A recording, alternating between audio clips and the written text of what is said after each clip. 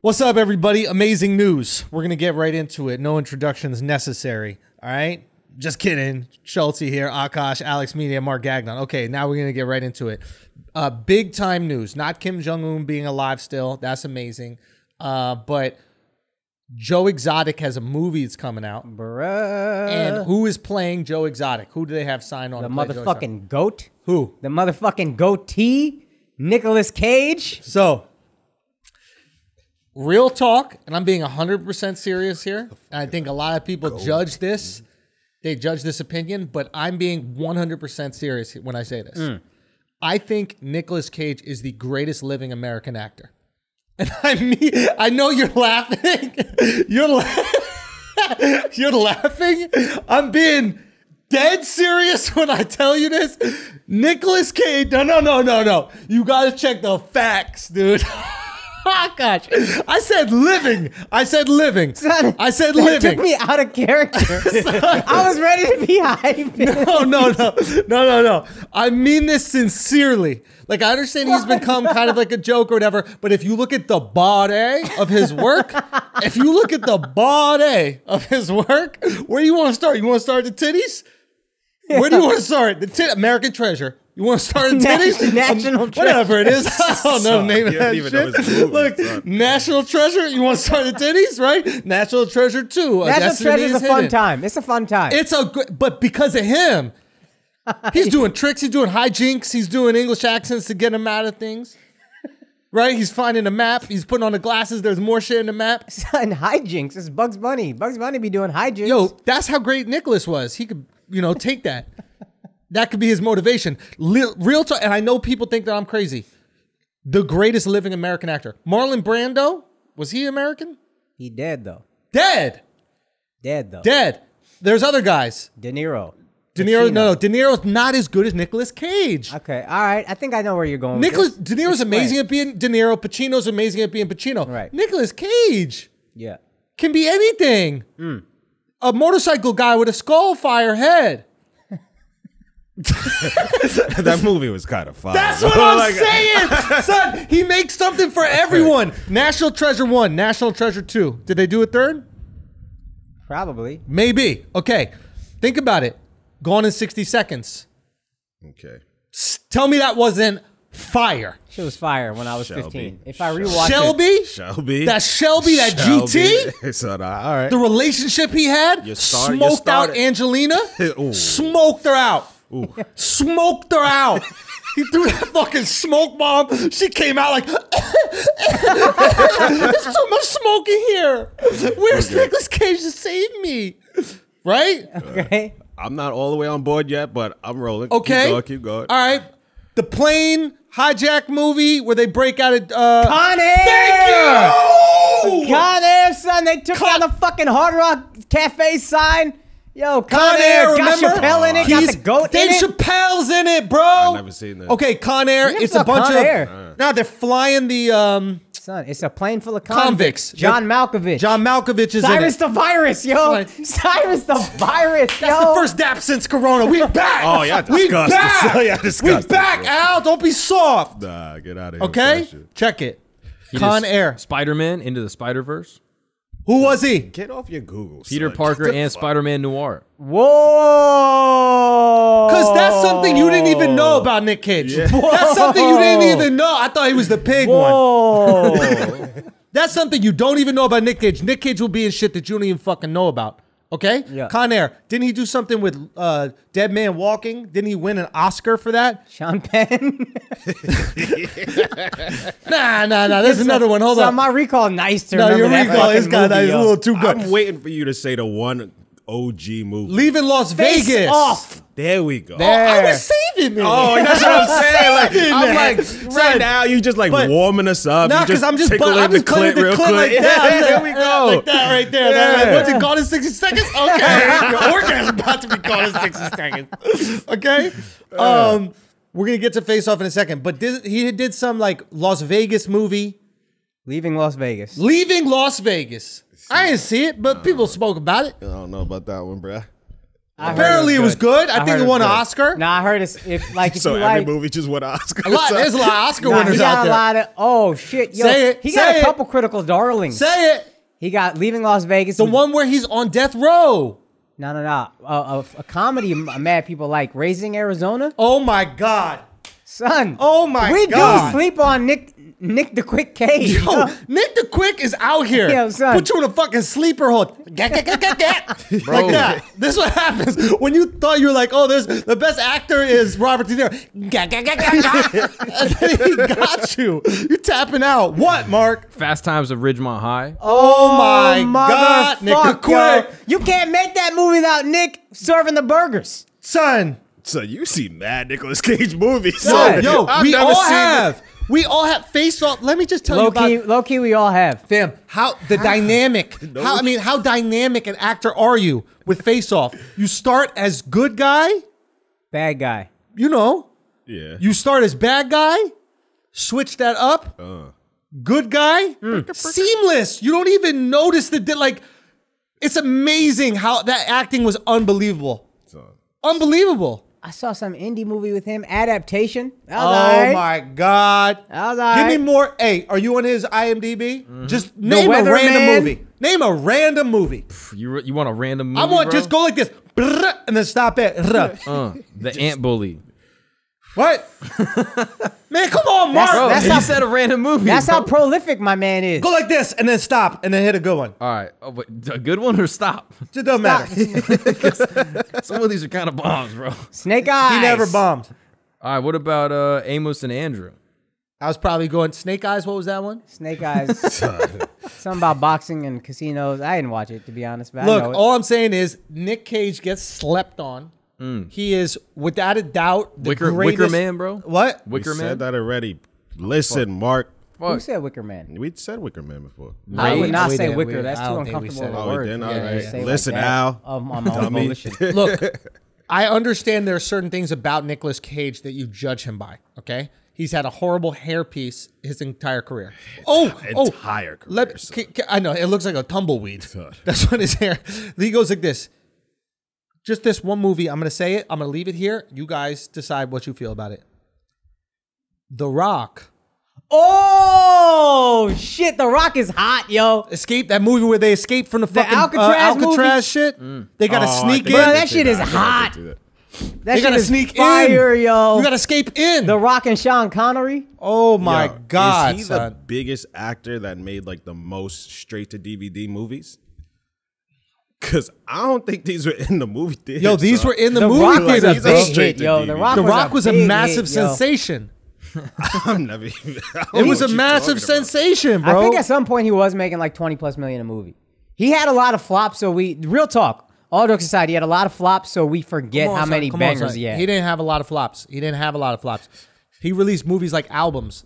You know what I'm saying? He put out nine movies, ten movies. That's the album. That's the album. He put it all at the same time. You know, he got a couple singles in there. He got a couple bangers, and then he got a couple Amos and Andes. That's how he works. But he can do comedy. He can do drama. He can do action. He did a movie where he was like a. He did some indie shit. He did a movie where he was like a robber, and then this girl like says he, she's his daughter, and it's like some crazy like. Ah, yep. And that that movie got a lot of. You know what I'm saying though, right? I do, bro. He does. Nah, I do know what he's saying. dog. Nah, I know what he's saying. And then he got to get his daughter. He got to get his daughter back. Ah. Something like He that. got to get his daughter back. Something like and he that. got to he got to stop his robbing ways.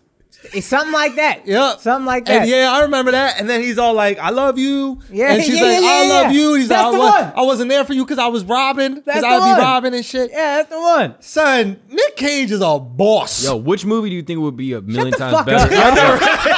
up. bro. Nah, this is important, bro. Oh, this is mad important, bro. I never mean it. It's just funny this is mad timing. important, I, bro. I never Hey, mean here are two boxes. Pick out which box has the best, Yo, that box shit was trash, bro. has the best DVD of Nicolas Cage. Bro, that box shit was trash. Son, I, I had someone uh, message me on Instagram about the box shit. He goes, I'm not gonna lie, I'm English. And that was scintillating podcasting. Let's go. Maybe it is something about this about us, but I was loving every minute of that. Bro, we're shit. blowing up in London, dog. All right, go. Which movie is better with Nick Cage in it? Okay, go. Which one you think? Oh, Godfather, As, as who? Citizen Kane. Citizen Kane. if he was Kane, that shit was slap. Facts. I gotta see this Citizen Kane movie. I Nah, never you seen don't. it. Son, that, That shit shit's is, so is mad gay. old, son. Yeah. I Yeah, thought this shit isn't was it in the, the- 80s. I was watching the play of it. Yeah. I thought it was the- I thought that shit was the 80s, bro. Son, I thought it was Gone with the Wind in like Son, this shit is 79. 1941. Son, I didn't even Oh, know they I had ain't color. watch- I I thought ain't was is watching it going to this be shit. sound? I had, when I'm watching the preview for it. You can watch the previews because we looked at every Oscar-winning film, Yeah. and we were like, oh, like, you hella boy. we were bored. We're like running out of shit to watch. And uh, we saw Citizen Kane, and then there's another one, 12 Angry Men. How the fuck do you think Citizen Kane was the 80s? Time don't matter, bro. It's like it's Son, a he flat thought circle. Twenty dollars was hundred dollars Yeah. ten years ago. son. I think it was, bro. now that I think about it, I'm doubling down on that. I think it was. If Snickers was five cents back then, Back when? back then, But back when? back then, if, The Snickers, first Snickers if, if was five Snickers, cents. if Snickers was five cents back then, and Yeah. now it's a dollar, how much was King Snickers in the '80s? Do that math. I can't even. You fucking black Sometimes I just Do that. Yo, son, Mark found. We got to share it with the people. Yeah, yeah, yeah. Apparently, there was a a Negro baseball team in Atlanta called the Atlanta Black Crackers. Mm-hmm. ABCs, bro. The ABCs. Yo, Whoa. Mark were getting his jerseys. They were really good? They were good. People liked them. Whoa. They were the best team in the league or something like that, right? so you're saying the Crackers were busting all the other black guys? Yeah, bro. Just whipping them to death. Poor Al. what do you think is more famous now on the podcast? Al's laugh or his exhale when we say something when we say something incredibly offensive and he knows he's gonna have to deal with 15 DMs like, how you gonna let them say that? Yo, Phil, you gotta hold us down. You're supposed to be silent when they make fun of every other race and religion, but when they make fun of us, you're supposed to step in. Oh man, Everybody does that shit. that is so true. Mm. That is so fucking true. So have we proved that Nick Cage is the greatest? Living. I didn't say dead. Living. All right, make the case. Nick Cage is better than. He's not better than Kevin Spacey. Kevin Spacey, Spacey is the best. That's who I was gonna bring up. Why? Were you really? Yeah, Okay, Kevin Spacey is the best. I will give you that. Kevin Spacey is the best. Kevin Spacey's. Because the kid diddling? Say what? Because the kid diddling? Nah, he Maybe- never he never touched kids. Yes, he did. No, he didn't. the boy was like fourteen. No, eighteen. no, he wasn't. He was, bruh. He- Once you, say heard you're gay, different you story. become eighteen. Oh, okay, okay. That's how, oh, that's how it works. I didn't get that memo. Once you didn't come out of the closet, it's like a gay bar mitzvah. You're an adult now in the eyes of gays. That's re- they're ready to feed. Oh, but I think the guy was 18, no? Nah, he was like 15. He was 18 or 17. I heard 14, maybe 15. Yeah, like what story Why did you be know? making Mark? Stop acting like you don't know this by heart, bro. Come Okay, on, uh, you've been at the bottom of the story, bro. Mark Come was on. the kid. I know. I can tell you exactly how old I was. Uh, all right, go. uh, he was. Oh my god, the kid's last name is R A P Whoa. P. Rap. Yeah, Yeah. Okay. and uh, he said he was 14 when it happened. yeah. When what happened? He might have been at a Uh, party that we are supposed to be Making 18? sexual advances. Yeah, that's a little crazy. Son. Kevin Spacey need to walk that back, son. Frank Underwood, come on, bruh. Can't be out here fucking 14 year olds. Son, he doubled down though. Like when he like came out as Frank Underwood and made like, oh, I'm a, I'm gonna get all the people talking bad about me. Did you see that shit? Son, that was the realest shit ever, son. so funny. Son, that was a real. Yo, imagine, Loki. imagine uh, who the fuck played Thanos? Josh, Josh Brolin. Brolin, yeah. Imagine Josh Brolin called a Me Too and he came out there like, listen, if you don't make this disappear, I will. That's how you gotta do it. That's how you gotta do it. You gotta come out in character, bro. son, That's, that's, what fucking. Uh, what's that guy? Pee Wee's Playhouse. That's what he should have done. What? When he was jerking off in the movie theater, Yeah. yeah. he should just come out as fucking Pee Wee. And It's Wait. been like. Does Sorry. he talk regular? Man, get the fuck out of here. Pee Wee talks to a regular. Yeah, yo. And I think You mean know- he just goes, "Hey, can, hello, I like a Coca Cola and uh, some fries." Like he'll say that sentence. Not if he's trying to diddle. If he's he trying was to in diddle, other it- shit. What- I thought that's when he was putting on the accent. when he was in Blow, Yo, he was in Buffy the Vampire Slayer. that's a slept on fucking show, son. Show or movie? No, the movie. Son, that's a slept on movie. you know who directed that? Nicolas Cage, bro. Nicolas Oh, Cage word. directed that movie. And you know what you can't argue with? Nicolas Cage is like, isn't he like Francis Ford Coppola's son? That's what I'm saying. That's good stock, this? yo. Who are these people? Francis Ford, he made the Ford. He made Oh, the fucking car, bro. Yeah, That is not his Ford son. Coppola, That yo? is not his son. Son, you never had a there's a Ford. You never heard of Fords. Ford Mustang, Ford Coppola. Son, no bullshit. The 78 Coppola is like the fucking it's Iconic like the, car. It's the car, yo. Uh, Iconic car. It's the I car. don't know car. nothing. Come on, bro. What do you think cops put you in the back of? Francis Ford Coppola, dog. That's, And, then, and where do they take you? A cage. That's how he got his name. Mark. He's redeemed himself from the boxes. He's back. I'm telling you, greatest of all time. Greatest actor of all time. Nick Cage. Big Dick Nick. Thick Dick Nick. That's what they call him on set. Think Dick Nick. Thick Dick Nick.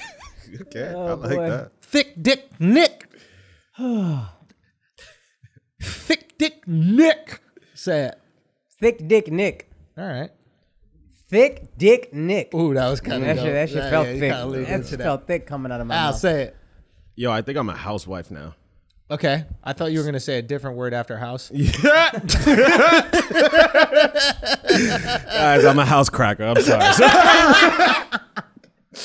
I'm sorry. I gotta come out, man. Oh, what happened, son? What Nah, the I girl make just, you do? I just like cooking and shit. And then yesterday I got excited because a fucking vacuum came from from Amazon. Son, yo, son, I just ordered a vacuum. I'm so hyped, yo, yo. right? I feel so. I so can't explain bad. it. I was like, yo, uh, my birthday was yesterday. I was like, I'm 36, yo. That's it. Your it's birthday over. was yesterday. yeah, I don't be talking about that shit. I'm Yo. too old to give what? fuck. We were all together yesterday. Yeah. What you want to wish him happy birthday? Son, you're a horrible friend. Stupid, yo. You're horrible. Like, how do you not know his birthday? I could not know his birthday. Why am I supposed to gotta know his birthday? You live together. and we don't live together no more. I don't know his birthday. Thank I don't you. know your Yes, you do. birthday. You I don't know your birthday. It's I- in October. I know that, and it's near Halloween, but I don't know if it's on Halloween or around Halloween. Okay. Happy better. birthday. Yo, how the fuck Hey, you hey, go? hey, hey, Hakan. Hey, happy birthday. Hey, thank you. It means so much to me. I can't wait for my gift. Oh, wait, wait, wait. I got a gift for him. I got a gift for him. Keep talking, keep talking. wait, wait, wait, wait, wait, wait. Yo, it better be that Whoa, dick, yo. You better whoa, be coming over here with that I dick. gotta get a new vacuum cleaner, bro. I'll show you a Dyson.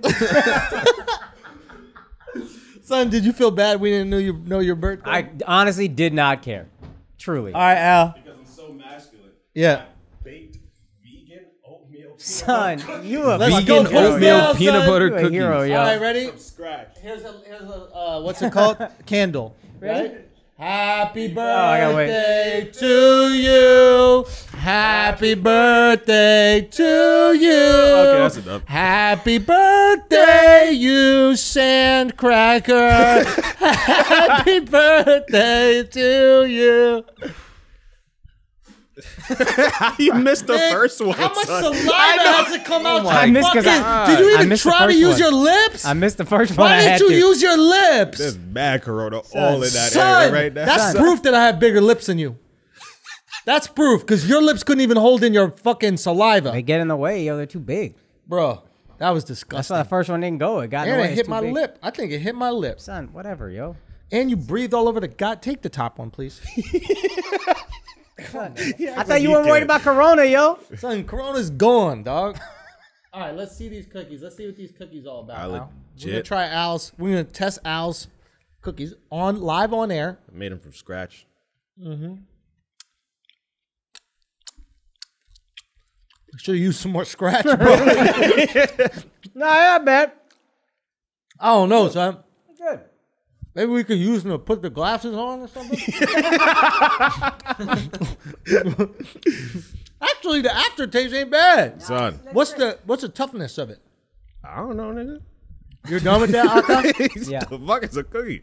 You're done with it? You don't want no more? I'm good. Why? I'm just. Uh, I ate too much shit yesterday. What'd you do for your birthday? Yeah, celebrating his birthday that we didn't know about because you're horrible friend and didn't tell us. Son, what, what- like, what is a birthday? No, I, I I agree. I don't get men who Yo, make a big deal about. Shut up. Let's just pile oh, on Oh, you're right. oh, yeah, my You're bad. right. Come on, bad. son. Yo, what's a birthday even, though? I mean, I don't know. Friends celebrating love and, and Word. caring about each other. Yeah, you know but what I I, celebrate that every single day with you. So every day is your birthday? I don't know. It Should bruh. be. You know what I mean? You know, I text him every time I wake up in the morning. I go, hey, bro, we're lucky for another day. Love you, man. I'm glad we in this together. Except he didn't on my birthday. Oh, wow, Damn. So on the one day you're supposed to, you didn't do it? Yeah, ain't that something? Ain't that something? Bro, this is a celebration of Akaash's dad raw dogging his mom, bro. Yo, yo, We can't celebrate Son, that. It's why actually can't you nine celebrate months. that? It's actually it's nine months actually before. not the celebration of it, Mark. That's not how pregnancy works. I don't know where they told you in Christian school. Indians have a one year gestation period, bro. oh, it's a little bit longer. I think, right? Okay, now that is true. Nine months ago, this day, 36 years and 9 months mm-hmm. ago, this day, Yeah. your dad unloaded a fucking mango lassi right in them guts. Up in them guts, He yo. was digging, bro. Yo. He was oh, digging. hammer, like bruh. that. Do you think he gave her that hammer time? oh yeah. You yo, think it was pump, pump, pass? Yo. Oh. Ain't no passing, yo. Ain't no passing, yo. No passing, but lots of passion, mm. right? Pump, pump. Blah! You th- oh, oh, you think you would slow it? You let and off then- them shots like blah, blah. Buh, buh, buh. Now, what do you think this?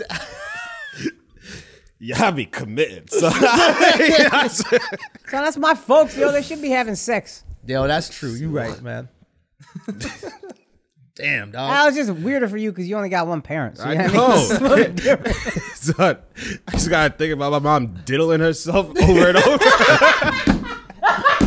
That's how you were born, bro? Mom, is it really true a stork dropped me off?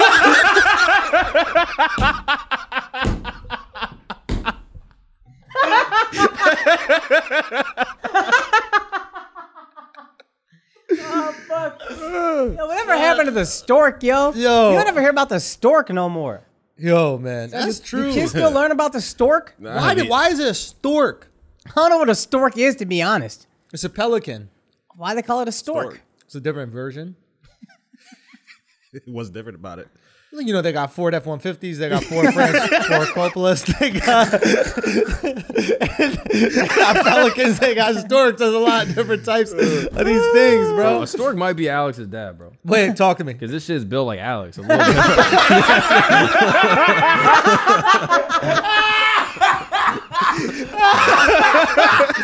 Show the image. We gotta get the image. We gotta get the dongle so that we can. Uh, It's got a nice little him bracelet the images going. up. Oh, fuck. I'll add it after. His bro. legs are a Oh, little skinny, fuck. though. hilarious. That was funny. Oh, God. Fuck. His stork is brolic ass upper body, yo. Word.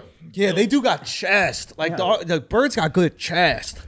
That's what we eat from the birds, Yeah. right? Yeah. We eat their chest. Yeah. You know, Chicken titties. we do eat chicken titties when you think about it. you know. Yeah. But you never go to like the butcher and be like, "Let me get a couple chicken titties." we should start Yo, doing can I, that. can I get two pounds of chicken titties and you imagine going to a, like a fucking churches and they ask what kind of part of the chicken you want? The titties. the titty, the titty. oh boys, okay. I had some things happen that we should discuss. What Yeah. do you think? Well, happy Look, birthday, that. Akaash. Uh, there was something I wanted to talk about. I don't remember what it was. Um, oh, Mike Tyson boxing. Boom. Bruh. That Am I tripping or was that fucking incredible That's- to see Tyson boxing at 53? If y'all don't know, there's a video on Twitter. If you go to Mike Tyson's Twitter, he reposted it of him boxing, and he's 53 right now, and he's just doing some pad work, and it's fucking insane to someone who doesn't know about boxing at least. And I'm curious to know if you do know about boxing, is it just as impressive? Yeah, it's really impressive. I mean, what was the most impressive was the last punch. So like the combo, the one, two, three, I thought was kind of okay, but the last punch, that kind of like overhand right that was really short that he threw. Yeah. I mean, you're dead. If he connects with that, you're dead. I mean, punch probably travels six inches. What is Unbelievable. Why why is the overhand right the most impressive? His positioning still like, I this is really hard to eat, Al. But You still eating it though? you going back? So, like he's in front of the guy with the pads for the one, two, three. Right. which is fine. And then he shifts slightly and throws the last punch not straight, but over to his left. Like if you watch the video again. And basically, what that is is like if you see him um, throw the one, two, three combination, it's like closing distance. Okay, so it's two to the body, and then he swings under, right? Right. Two to the body, to the body. I'm up under you. And then I'm under on the other side. He dips under and then comes over with that right. Watch the last right. Yeah. Mm. It's like it just travels from his shoulder six inches. Okay. All the power behind it. Oh my God. And he's out of your punching range. So watch. Boom, boom, under you and slip to the side. Oh, so beautiful. Now, granted, can you sustain this for 12 rounds? Of course not. You know, but it does go to show you like that muscle memory is there even at 53 years old. I mean, he just looks fantastic. Bro, the guy catching pads for him, Frightened. He looks legit oh, yeah. scared. I was wondering, am I tripping or does he look legit? his scared? hands shaking, bro. Oh, yeah. And I that mean, last punch he catches, he like, oh, he, He don't want no moves his parts head of out it. the yeah. way. Yeah. Nah, bro. I mean, just walked it up. yeah, Those he's body like, all right, we shots, good. We Yeah. good." even with the pad, you're still that feeling hurts. those body shots. That's got to hurt. Those body Tyson? shots, even with that pad, they got to hurt. Do you I think mean, there's another boxer in history that is punching like that at 53? And I'm including Foreman because he was known as the fucking knockout artist. And I think knocked somebody out at like 45, right? Yeah, so Foreman came back and he was uh he came back really late in his career. Yeah. And um when did Evander Holyfield keep fighting to? I think Evander Holyfield kept fighting till really late too. Uh, I would say that they maintained their power. I mean, Foreman was arguably the hardest puncher ever. I mean, some people say Frank Bruno, who is this British Right. uh, heavyweight, but um, I mean Foreman. That's my pop said that was the hardest puncher he'd ever seen. Like lift, he literally lifted Joe Frazier off the canvas when he hit him. Really? Yeah, like his feet come off the canvas a couple inches and then come back down. He hit him with like an uppercut. Right. So I think Foreman would maintain it. At that time, it's just like size and like coordination and body weight and just how you're built. Like speed is something that you're born with, and punching power is actually something you're born with. Some people just have it. Yeah. I could teach you how to punch harder than you're punching right now, Right. but some people just naturally have amazing punching power. It's just how they're built. Yeah. Nothing you could do about that shit. Yeah. I can 100% see that. Um, I oh, I guess. I wonder if coordination's like that too. Like, coordination. I think to a large degree you can get better, but you're born with it or you're not. Like, like if you play tennis with somebody who's playing like for their one of their first few times, and you're like, oh shit, you just naturally have this down. I've never seen that with like tennis, but that quickly. But it's just again, yeah. Once you learn the form, it's just a matter like. You ever seen some people try to throw and they just can't fucking understand how to bring the ball back? Yeah. It, it, it just seems like, and it can be different in different sports. Like I knew, I remember I had a friend who could hoop. He was nice, but then we tried to teach him how to throw a football, and he was in. We were 18. He just couldn't fucking do it. He was like throwing from here, and it was like, yo, what the hell happened? My dad said Muhammad Ali threw like a girl. Isn't that crazy, dude? He couldn't Isn't believe that it. fucking crazy? He couldn't believe it. He goes, "This is a perfect human specimen. Like Yeah. this is the epitome of athleticism right here. This is what happens when everything works out. You have size, power, speed, and he threw like a girl. Unreal. It, it's weird how coordination is so different. Mm-hmm. Yo, do you I'm think like scared about that. what that your kid might be trash? No, that I forgot how to throw. Like we should have throwing. Yeah, yeah, yeah. No, no, no, no. No, I mean, because I don't want to lose that shit. Be We like, should have throw it. like we should all get a mitt and a base. Fuck baseball, but you gotta know how to throw. Yeah. So that when we have kids, we could throw with them. yeah. Like we should just go up to the roof and all of us have our mitts, and then at least two times a week Just toss around. we toss the ball for 20 minutes But just I to s- maintain the form. That's it. When I I think see- if you've done it enough when you're a kid, it always stays. Yo, son, yes, but Yeah. God forbid it doesn't, and then we're out there looking crazy. No, that shit gotta stay. There's no way father sons that white kids that learn to play catch from their dad, their dad was just like training for it.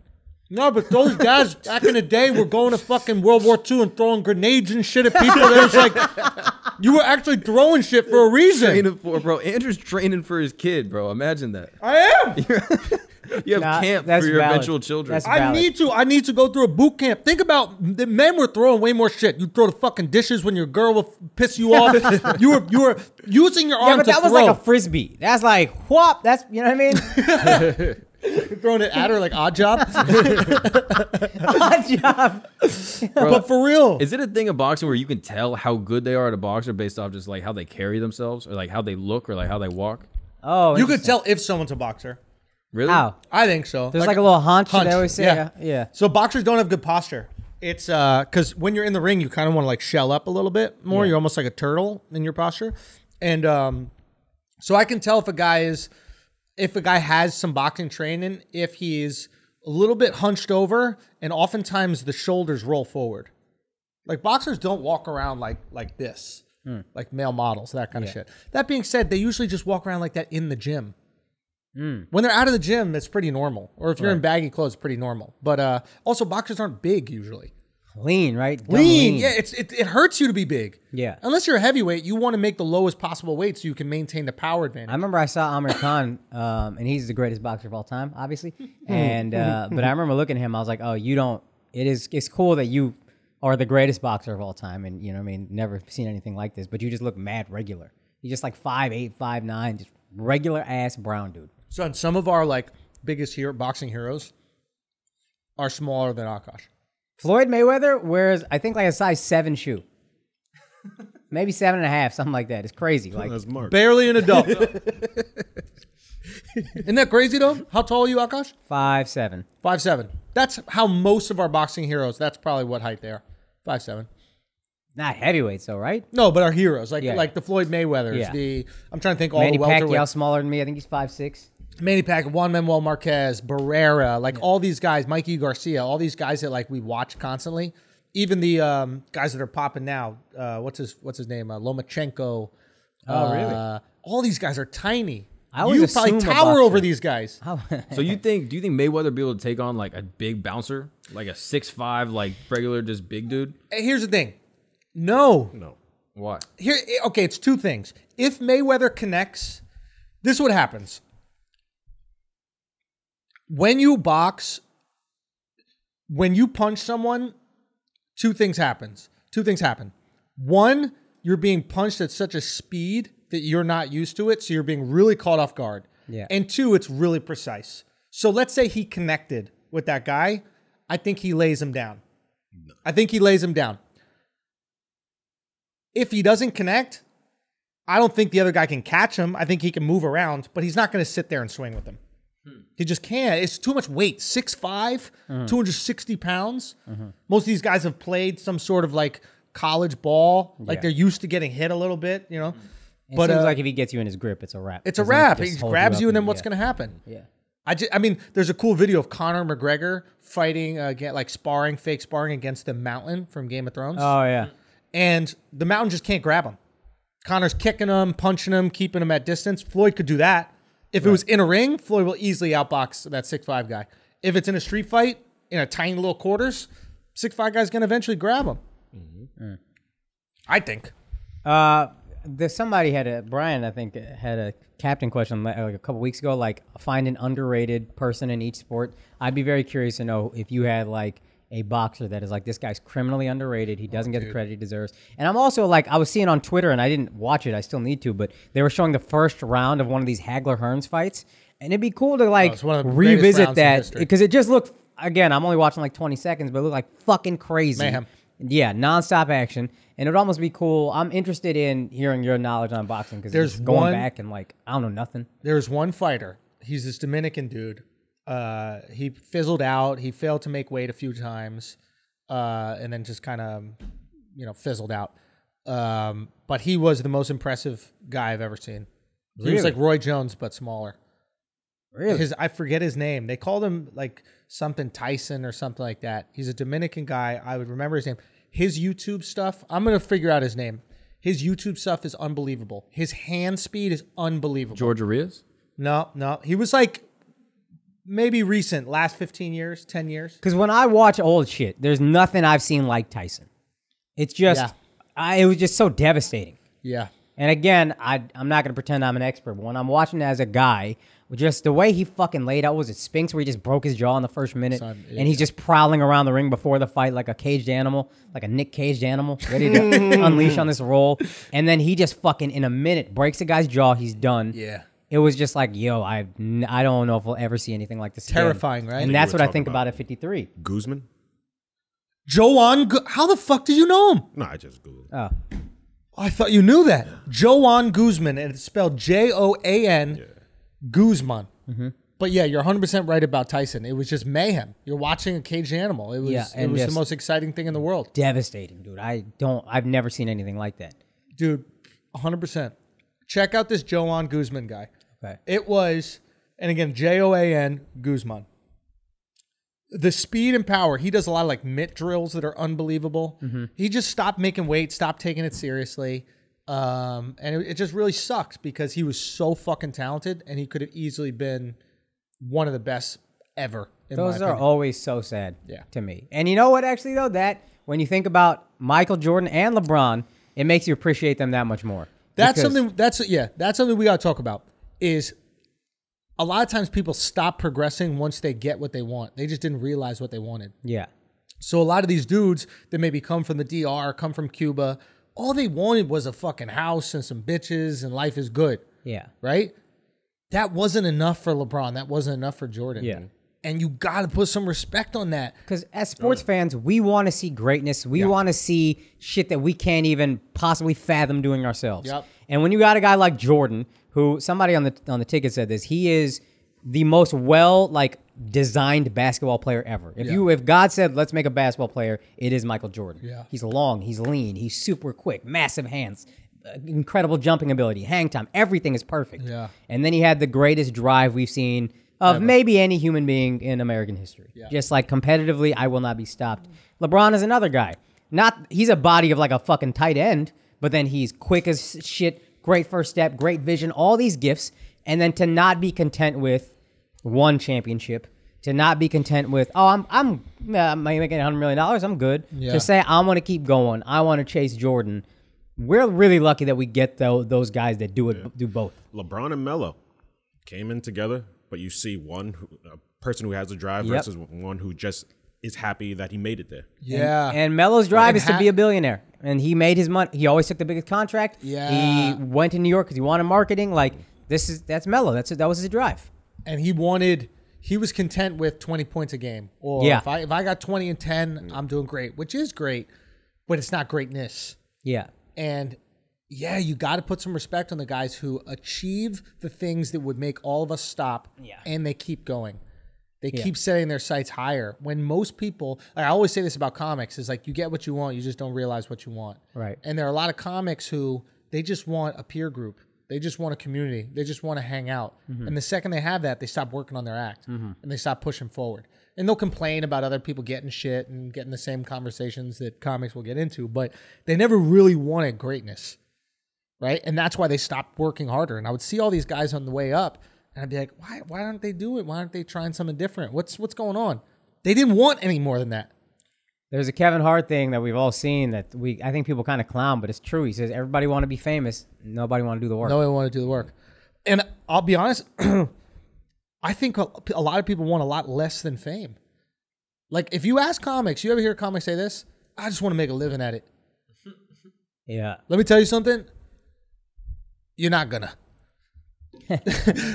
you will only go as far as your dream, and that is the f- that is the furthest you will possibly go. Nothing past that, and you probably won't get there. Right? So you might as well dream here. So if you get halfway, yeah. you're selling out the fucking local comedy club or something. Also, making a living as a comic never appealed to me because it's like, yo, I want kids. I want a family. I want to be there. I don't want to be, my kid is six years old, but I can't be there for whatever the fuck he wants me to be at because I got to be at Yuck Syracuse. Yucks in Ontario. Yeah, yeah. You know what I mean? Like, yeah. no disrespect to any club, but I'm not doing that on a Wednesday Yeah. to make a living. That's Yeah. not a life that interests me. Yeah. So I just want to make a living. Is like, really? That's it? That's all you want? You don't want nothing else? That's the thing about dreams is they don't cost anything. That's why I, I don't understand why That's people. a bar, yo. But it's true. It's like they don't cost anything. So why are you so stingy with your dreams? Hmm. Like it's just such a weird thing to me. Yeah. You can literally say you want anything, and people are afraid to say that. You might as well say, "Hey, I want to be, I want to be the greatest ever. Hey, I want to sell out the garden." So I agree with that, but just to play devil's advocate, if you set your dreams too high, you always feel like, oh, I haven't made it. Yeah, So it's like, even though you'll have all these successes, like, ah, damn, but I still There's haven't a made it. there's a So there's a like- gray area good I think where you have to say you have to like train yourself. And I'm to be honest, I'm working on it now to say like, yo, because I used to be yeah, I haven't done shit, but there's a yo, I've I've done a lot, but I'm not where I want to be, and that's great that I've done a lot. I still got a ways to go. That's why I think like you try to find that, that space balance, yeah, as a person. No, that is a really good point because oftentimes, yeah, I feel like maybe you have to balance it with. I guess what I would do is like I'd have like check in periods of my progress. So I'd like force myself to acknowledge my progress. So where earlier in my career it's like, okay, I need to get up at the clubs. So how do I get up at the clubs? I got to get funny, but I also have to be on a TV show, so I have something to offer the club, mm-hmm. right? I wasn't on a TV show yet, and I could be focused on not achieving that goal and how that was like I guess a failure every single day I wasn't. But what I would do is every few months I'd check in and go, what have I improved in the last two months? Oh shit, I can actually just go on stage and tell a joke and like get the ball moving and like get some rhythm. Oh wow, okay. Actually I wrote this other piece in like a short amount of time and it's really working. Or oh my crowd work's actually getting better. I would check in on my improvements. Oh, and as long as I checked in on my improvements, I mm. felt like I was getting better. Yeah. I was cool with not achieving that greater goal. And I guess it's like having multiple goals along the way. Hey, I, I wanted Flagrant 2 to reach 100,000 subs. Hmm. Right? I really wanted that 100. Now, I want Flagrant 2 to have 10 million subs. Right. But 100,000 was a, a goal that was attainable. And then there's like lifetime goals. Right. I want to sell out a show at the Orpheum. Okay, that's one. That's the beginning one. Mm-hmm. I want to sell out the Garden. That's the next one. Hmm. And then after that, who knows? Mm-hmm. But I do. I feel like you don't have to have just one goal. There can be many. Making a living can be a goal. Yeah. That shouldn't be the last. It shouldn't be the dream. yeah, it shouldn't be the dream. That's maybe a better way to look It's at it. There's goals and there's dreams. Goals are some th- shit that I want to attain. Dream is this is the limit of what I want to attain. This is the sky. And then people fail when they put the goal as the dream. Yes. When they're like, my one goal is to make a million dollars. And it's like, you realize that's not a ton of money in your lifetime. Yeah. Yeah. You're like, oh, okay. I should have made a higher thing. Yeah. Make 10 million, and a million can be your first one. Yeah. Yeah, a- a hundred percent. All right, let's take a break for a second. Get your dicks hard. Get them dangalangs thick. Get them thick. How thick does your dick get when you pop that shoe? Thicker for sure. You get it gets thick. Oh, yo. Can you grab all the way around on it? Oh. Like when you're grabbing all the way around on it, is it like grabbing like a baseball bat or is it grabbing like a baguette?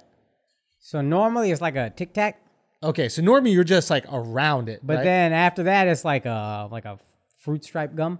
You know what I mean?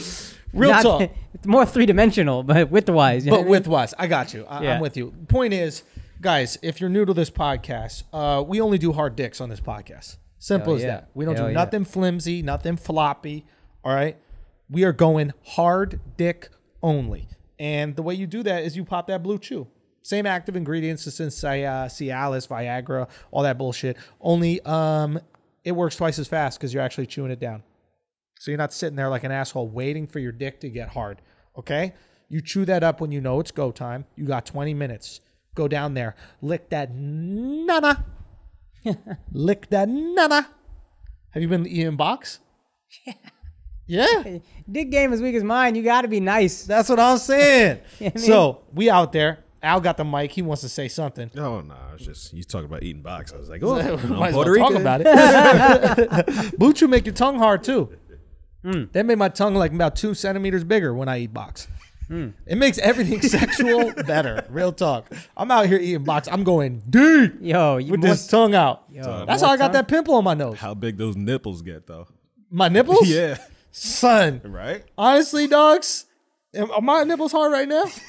Sometimes I'll take the chew and I'll rub it directly on the nipple before I chew it up. I'll just press it right on the nipple. I get a nice hard titty. I like fucking with a hard titty, yo. Yo. You like fucking with hard titties? Obviously. Real talk. Sometimes you gotta be out there. So I take my beef, I take that fucking top sirloin, You know what I'm saying? I take that prime rib and I take that chew and I make sure that shit is thick cut. Thick. thick cut bacon. Make it crispy. All right? You know how I get it? I get that shit for free. All you gotta do is pay five dollars shipping. And you go to bluechew.com. Use that promo code flagrant. Okay? Bluechew.com promo code flagrant. They're sending it right to your crib. You don't even have to go out to get that hard dick. You and your girl. That shit gets delivered. Okay? So make sure you pop that blue chew, chew it up nice and good. If you want to get that hard, extra thick tongue, leave it on the tongue for about three seconds before you chew it, right? And then go to fucking town, dude. That's what I do. I think it's time to get back to the show. But enjoy, ladies. Enjoy, fellas. Akaash, anything else? Nah, you got it. Uh, these murder hornets. What the fuck is going on with this? Asians coming for it, man.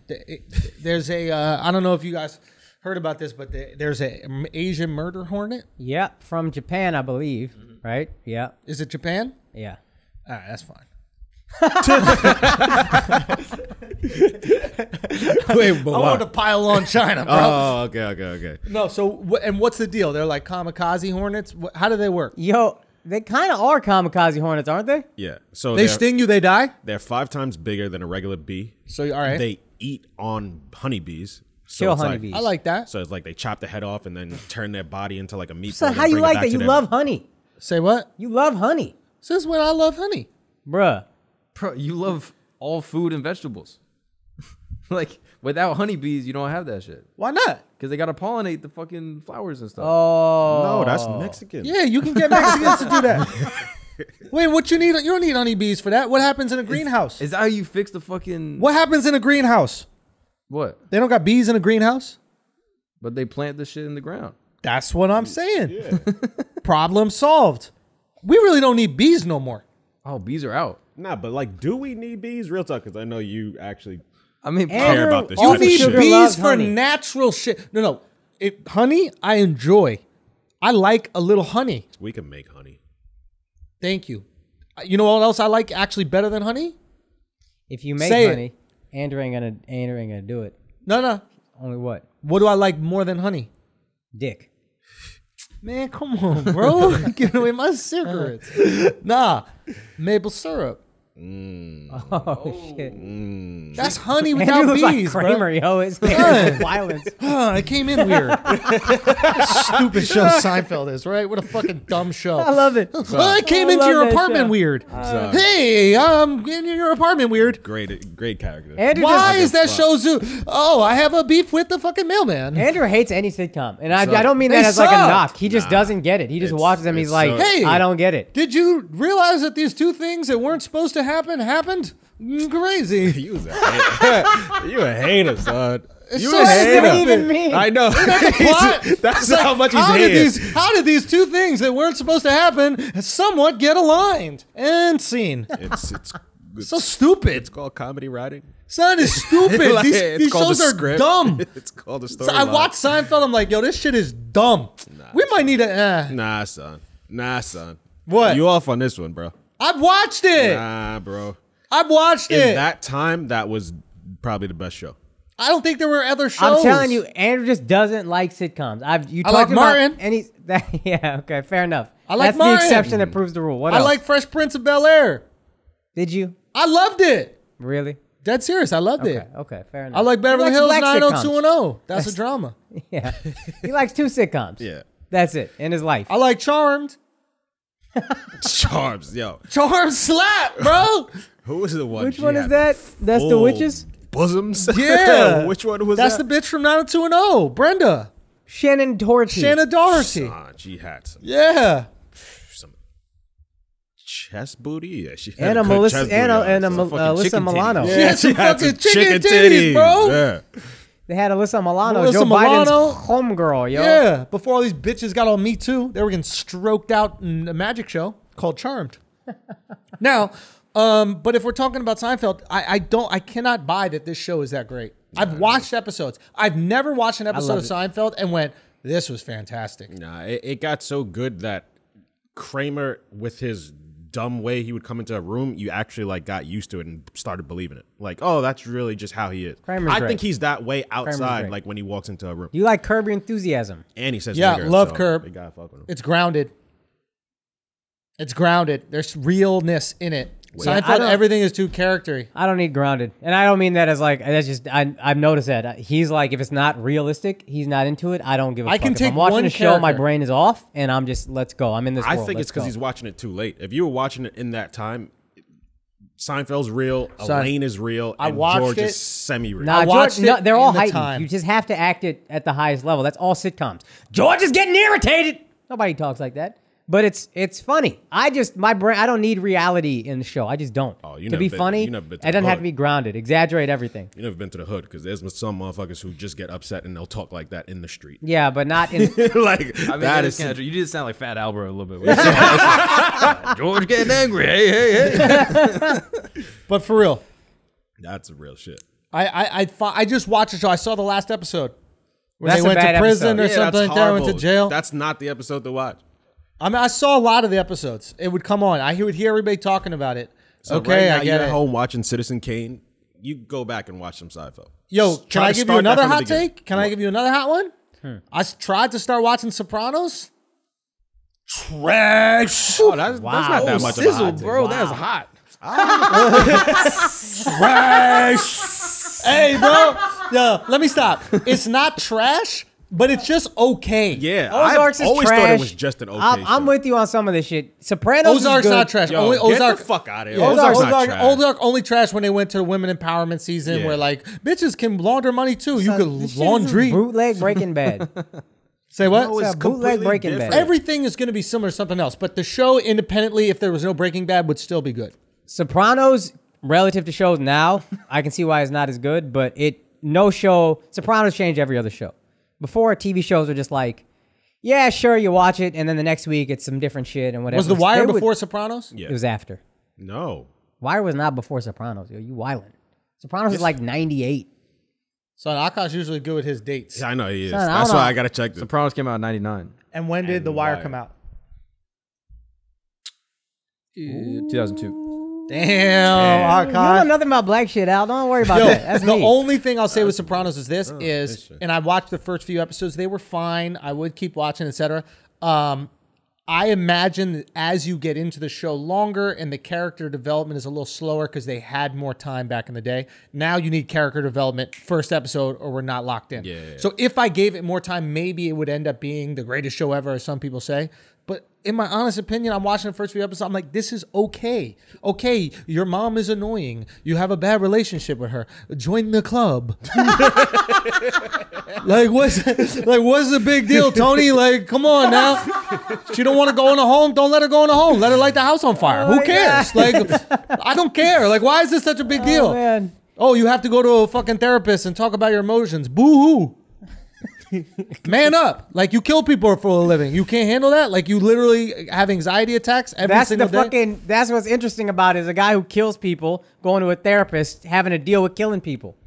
The rest of us go to therapy for my mom. You know what I mean? My dad, my brother. It's there. He's No, like, nah, he- I'm killing people and I got to deal with this. No, he's okay with killing people. He feels guilty about putting his mom in a home. I think it all adds up. It's all like a thing. It's all. It's all issues. But here's what I'll say about The Sopranos. Everybody's favorite show. We, let's include Ozarks, Breaking Bad, The Wire. Ozark's whatever. not one of my favorite Fine, shows. but all these shows that people talk about are great. Westworld, whatever. Charm. Name a show like that. Charm slaps, son. Charm slaps. yeah, but it's different than those shows. It's No, like it's a different not. category. No, it's not. It's the same category of fucking amazingness. Son, did you see them chicken titties? Son, Like, Chicken come Titties on. was on point. These bitches was doing magic. They were witches. Skibbly bobbly boo. That was Harry Potter before Harry Potter. Real talk. Come on, son. Yo, OG. You didn't think them point. feminist bitches had Harry Potters? But um, Oh, man. All right, go. But go. What you saying? All those shows were re- after Sopranos. Those shows didn't exist before Sopranos. They changed like the golden age of TV. That's Sopranos that did that. All right, so the chariot was the first thing with some fucking wheels on it. Yeah, yeah, but you. That yeah. don't mean it's better than a Francis Ford Coppola. it's not better than that's unfair. Ain't nothing like a Francis Ford Coppola. nothing like yo. a Francis Ford Coppola. Yo, the '78 Coppola, Dude, that 78 Coppola was fire. Bruh, beautiful vehicle, Unbelievable. beautiful. speaking of Harry Potters, are we going to talk about these women um, soccer players? No, we just talked about We, for an for hour. 30 before. Where minutes, we were you in discussed why we're beginning? not ready to have this discussion. It's too complex. Oh, I completely you checked sitting out. right that. there. No, no, no. I completely checked out. Like you talking women in sports, I'm bro. like, all right. When Then they're you brought done- it up No, you. just now. Yeah. Speaking of Harry Potter, because we it's can on the about- list. So I figured you guys care about this stupid shit. so, yo, before the Way to podcast produce, started, Al. yo, Way to produce. No, no, no. Before Andrew walked in the room, you talked about this women's soccer shit like three, four times. And me and Mark. This is when like, I wish we oh, could all oh, get oh, naked yeah? at one point in time. Oh, yeah? At the exact same time, we could all zip off all our clothes and dance around the table until you shut the fuck up. I wish all of us could just go zip, and then we get completely naked, and you'd be like, "Hey, uh, what, what are you doing? What, what are you doing?" And then we just start dancing around the fucking table. Why? Why does clothes have to come off? I don't know. It just seemed like it would really get you to shut I the think if you just started dancing right now, I'd shut the fuck up. I Let's think go. you just make fun of me. You just start roasting me for dancing right now. But if them dangs are out, bro, if my if my thing was out, yo, I start son, throwing them dollars. so the, say I what? start throwing them dollars. Chuck in bucks, chuck in bucks at me. All right, what else? so we're not talking about these dumb bitches. No, we're not. There's more to No, because here's the thing. There's a lot to. I think we're gonna do this week's episode on it, on um, the uh, Schulz episode on it.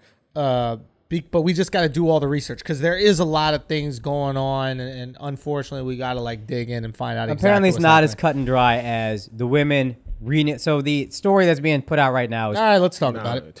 I was just going to be like, all right, so I guess we're talking about it. yeah, no, you're right. It's not as cut and dry as what ESPN is saying. That's you're right. My bad. Basically, yeah. And what Um, everybody. I will say this though, I'm super excited about the um, the last episode that we put out last Saturday. We put out this Biden piece. Oh, last Saturday. And um, I know I, I there's the uh, Alex exhale, but it's something that I'm really proud of. I've, you know the episode did uh, really well. I think we got over four million views so far on it. Uh, Crazy. between all platforms. Joe Rogan retweeted, but there's a reason why I was super excited about it because Charlamagne retweeted. well, no, I'm gonna get to it. I'm gonna Oh, get okay, to okay. it. Uh, uh, I mean, the reason why I got the four million is because Joe did. That's the only reason. I know, I know. I But uh, uh, I want to highlight the ones that. don't worry, don't worry. We'll get there. I'm, I'm, I'm, we're on the same page.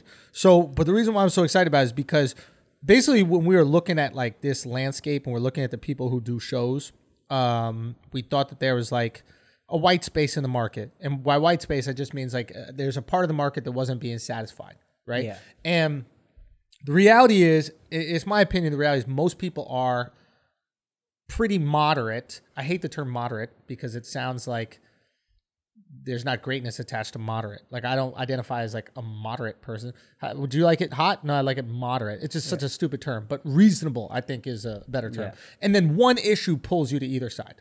Right? Yeah. I think it's like, okay, I'm pretty reasonable about all things, but I think abortion should be illegal, so I'm gonna vote for the guy who says abortion legal. But I'm cool with all the other shit that you guys want. Doesn't matter. Um so when when we come together and we want to like put together a piece like this, I'm always like, how do I feel in my gut? Your gut is not is apolitical, right. right? How you feel in your stomach when you see a fat person fall and you laugh. Yeah. That's mm-hmm. just your lizard brain going, that's funny. It's not the Democratic Party saying you can laugh at that or the Republican Party saying you can't laugh at that, whatever. It's just what's in here. Yeah. And I've always wanted to do comedy from gut, right? Just the lizard brain, gut, what's funny. And we basically came together. We're like, we have to do what our gut is telling us about an issue every single week. No bias, no political slant, no narrative that like a network that's tied to a political party and is really a mouthpiece for that party is telling us that we can't say, like The Daily Show or John Oliver, or one of these guys who like they obviously have to give the left leaning take. Right. We don't have to give any take. We'll give whatever take. And I think what happens is when you give whatever take, when people watch it, it resonates with their gut. And when it resonates with their gut, both sides of the aisle mm-hmm. Come together and appreciate it. And with this piece, you have Rogan, who's I think on the reasonable side, reposts it. Charlamagne, who's on the left leaning side, and at times far left Right. leaning side, reposts it. And then later that night, Donald Trump Jr. reposts it. And we lit his pops on fire. You can't say that we didn't have tons of jokes about about uh, Trump. Like we fucking lit we made sure we lit him on fire in it. And to me, it just goes exactly to what what I wanted to do when when when when we came together to create the show. Like what we want to do is like We want to make something that is not politically biased. We want to make something where the opinion is not decided before. We just want to write the funniest joke. We want to have the funniest take. And when you do the funniest take, truly both sides can come together. Yeah. And it was just really cool to see that happen all in the same day. You have all these people that would think they would never agree on anything Right. come together and all agree, nah, this shit is fire. This shit is funny. Y'all gotta Yeah. watch this. Yeah.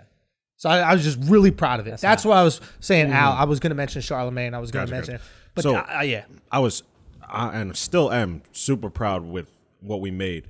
Uh, I the the reason why I dislike Trump Jr. reposting it because by him reposting it, it makes it political. It makes it like oh, it can appear to be like oh hey, if I'm okay with this, that means he's flaming the other side more, and that's what I dislike. I love the fact that Rogan, Charlamagne, anybody in entertainment, cool. But if a politician posts it, now it's like ah, he could be using his energy to try to politicize this, and that's what that's, I fucking. that's true. And I know we Trump have no Jr. is not a control. politician, though. I mean, but I would s- anything he does reflects his father. And I- know, and I, I would say, I would say you could say the same thing about like people in entertainment. You know, they have a certain slant, you know, politically speaking, and Yeah, but that's fine. It's it's a different coming from an entertainer than it is coming from. I understand what you're saying. I understand what you're saying. I just fundamentally disagree. I'm not going to ostracize anybody from appreciating comedy. And hmm. for me, what I focus on is not whether he liked it or not. What I focus on is a guy like Charlamagne. It's not like Charlamagne reposts a lot of my stuff. yeah, right? It's like it's rare Charlamagne reposts my stuff, but he this bit resonated with him so much that he was like, "Yo, I gotta share this with people." That Rogan could feel that, Charlamagne could feel that, and the exact opposite of Charlamagne, Donald Trump Jr. could all feel that about the same piece. yeah. It just shows that, trust like- I, I am proud. That shit was dope. We're the best. We. We've only made three episodes. We're the best at it. I, I've decided. suck a dick, John Oliver. all of them.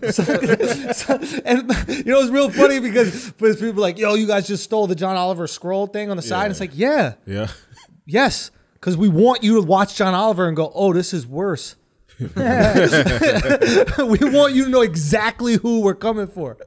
But yeah, it's cool. Three episode in, we're the best. And you know how you be the best? You just don't have a political slant. When mm-hmm. you have a political slant as a comedian, it's a perfect example with SNL. It's why SNL's trash. You're telling us how you're gonna go about the joke every single time. I know where the joke's going every single time. So bad. Let me guess. You're gonna make fun of Trump? The best sketches on SNL are the ones where you flipping on us. Right? Like the mm. Black Jeopardy thing. yeah. That was genius. Yeah. Because you don't see it coming. Mm-hmm. You can't show your cards as a comic. Yeah. So if we come at it every single week and you don't know where we're coming from and we we literally trust our gut, and sometimes our gut is going to lead liberal on something. Maybe it's going to lead conservative, but it's just going to be our gut. You're going to find people from all sides of the aisle come together and see it. And that's what happened at our fucking comedy shows. Anytime we go, you see our audience is crazy diverse. Mm-hmm. Crazy diverse, right? You see hood motherfuckers and someone with a, with a MAGA hat in the same crowd laughing at the fucking jokes. Mm-hmm. Same thing can happen with the piece as long as you don't decide you're going to have a political slant. Mm. I just thought it was so fucking cool that we did it, man. Part So- of the reason I think that Trump Jr. reposted also, I feel like the Trumps just know like how politics works and that it's just like a mudslinging contest, like we were talking about before. yeah. And that like even if we go after his dad, he's like, all right, whatever. Like they understand, like for them, they're like Teflon. Like the insults like don't Trump is comfy them. in the mud. Yeah, Yeah. like and the whole family gets it, so he's like, all right, yeah, dad gets roasted, but whatever. That's you- collateral damage. yeah, like Yeah. If you want to mudsling with the Trumps, they're like, we live in the mud. Let's go. like we could have gone twice as hard on Trump, and he's. I feel like he still would have reposted As long because- as there were some shots on Biden. because ultimately, like, it's collateral damage. Yeah, he doesn't care. That's what I think. Yeah.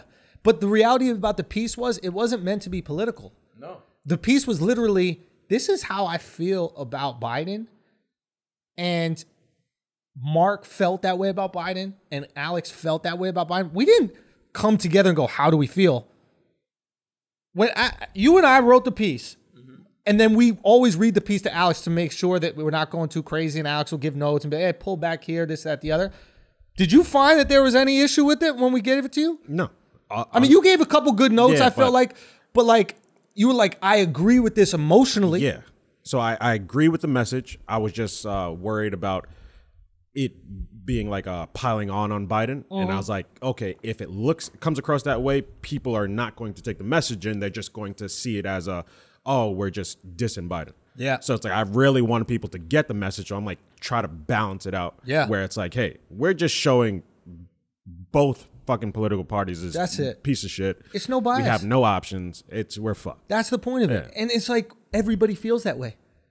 And if you tap into things that everybody feel, parties mean nothing. Yeah. Parties are just the manipulation tactics they use. It's like I'm going to bully you to vote this way. I'm going to bully you to vote that way, and this is how we're going to create division, create separation. And who was it that said the black vote is not for sale this year? Was it Diddy? Did it? yeah, And, and or, yeah, was the black vote is not don't take it for granted, and then people got mad at Diddy. Yeah. and it's like, well, no, he's saying exactly what you should say, which is y'all aren't just gonna get our vote, earn our fucking vote. And to your point, they just everybody just wants you to pull one way or the other out of loyalty. son, that's the beautiful thing. You create something that resonates, motherfuckers. And know. there's been, yeah, there, there needs to be a place where somebody's just saying something that's not. I'm watching Trevor Noah. I know where the fuck everything is going, and that's what made Jon Stewart dope. Is you knew he's left leaning, but, But he, he was would take the left to task, yo. Yeah, he would he would not take them to bullshit. task. That's and there's now that he's gone, there's a huge. So it doesn't people don't misunderstand. There's a huge void in the market of somebody who's just sounds reasonable. reasonable, man. Who this guy speaks to how sounds like he's feel. not talking to me with an agenda. Oliver, great show, great at his job, sure, but it's all so fucking left and it's so smarmy and fucking well. Trevor Noah, not funny, super le- like it's just there's a huge void in the market. It's actually cool as getting filled by a real comedian, which Jon Stewart also was. He was a real comedian who mm-hmm. happened to fucking know politics and love politics. Yeah. So I'm excited. So hopefully, you know, this Saturday we'll talk about these soccer bitches. Kick football bitches. All right. So uh talk to us. What else we got, Al? Um, so Dwyane Wade to produce the Redeem Team documentary. How do one we feel about that? Yeah, I didn't. Stop it. With now everybody want to do a documentary. Hollywood is loves to be Oh. second to the fucking dance, huh? It's like the second one thing pops, everybody in Hollywood, every producer is like, They're in oh, a we gotta make race. a. An agent told me this. He said it about LA, but it's all in all Hollywood or all like show business. They're in a big race to come in second. Nobody wants to be the first last dance. Mm-hmm. Uh, let's make the next the last dance, and it's not going to be as good. You know an interesting documentary? Go. The them three joining up in Miami. How that all Oh, happened? That I like that, but I, I I'm talking about when they lost. The U.S. team that lost. Oh, what was shit. going on in that locker room? Yo. what was going on with the media? The, when Allen Iverson went out there thinking he was going to win for the first time in his life, and he ends up getting bronze. Wow, I really thought you were going to say his kid's transition, but that would be that's a doc. Ah, man. How you know you not that gender at nine? So, So that's exact, yo, wild. yeah, bro. Bro, you don't even first dance, bro.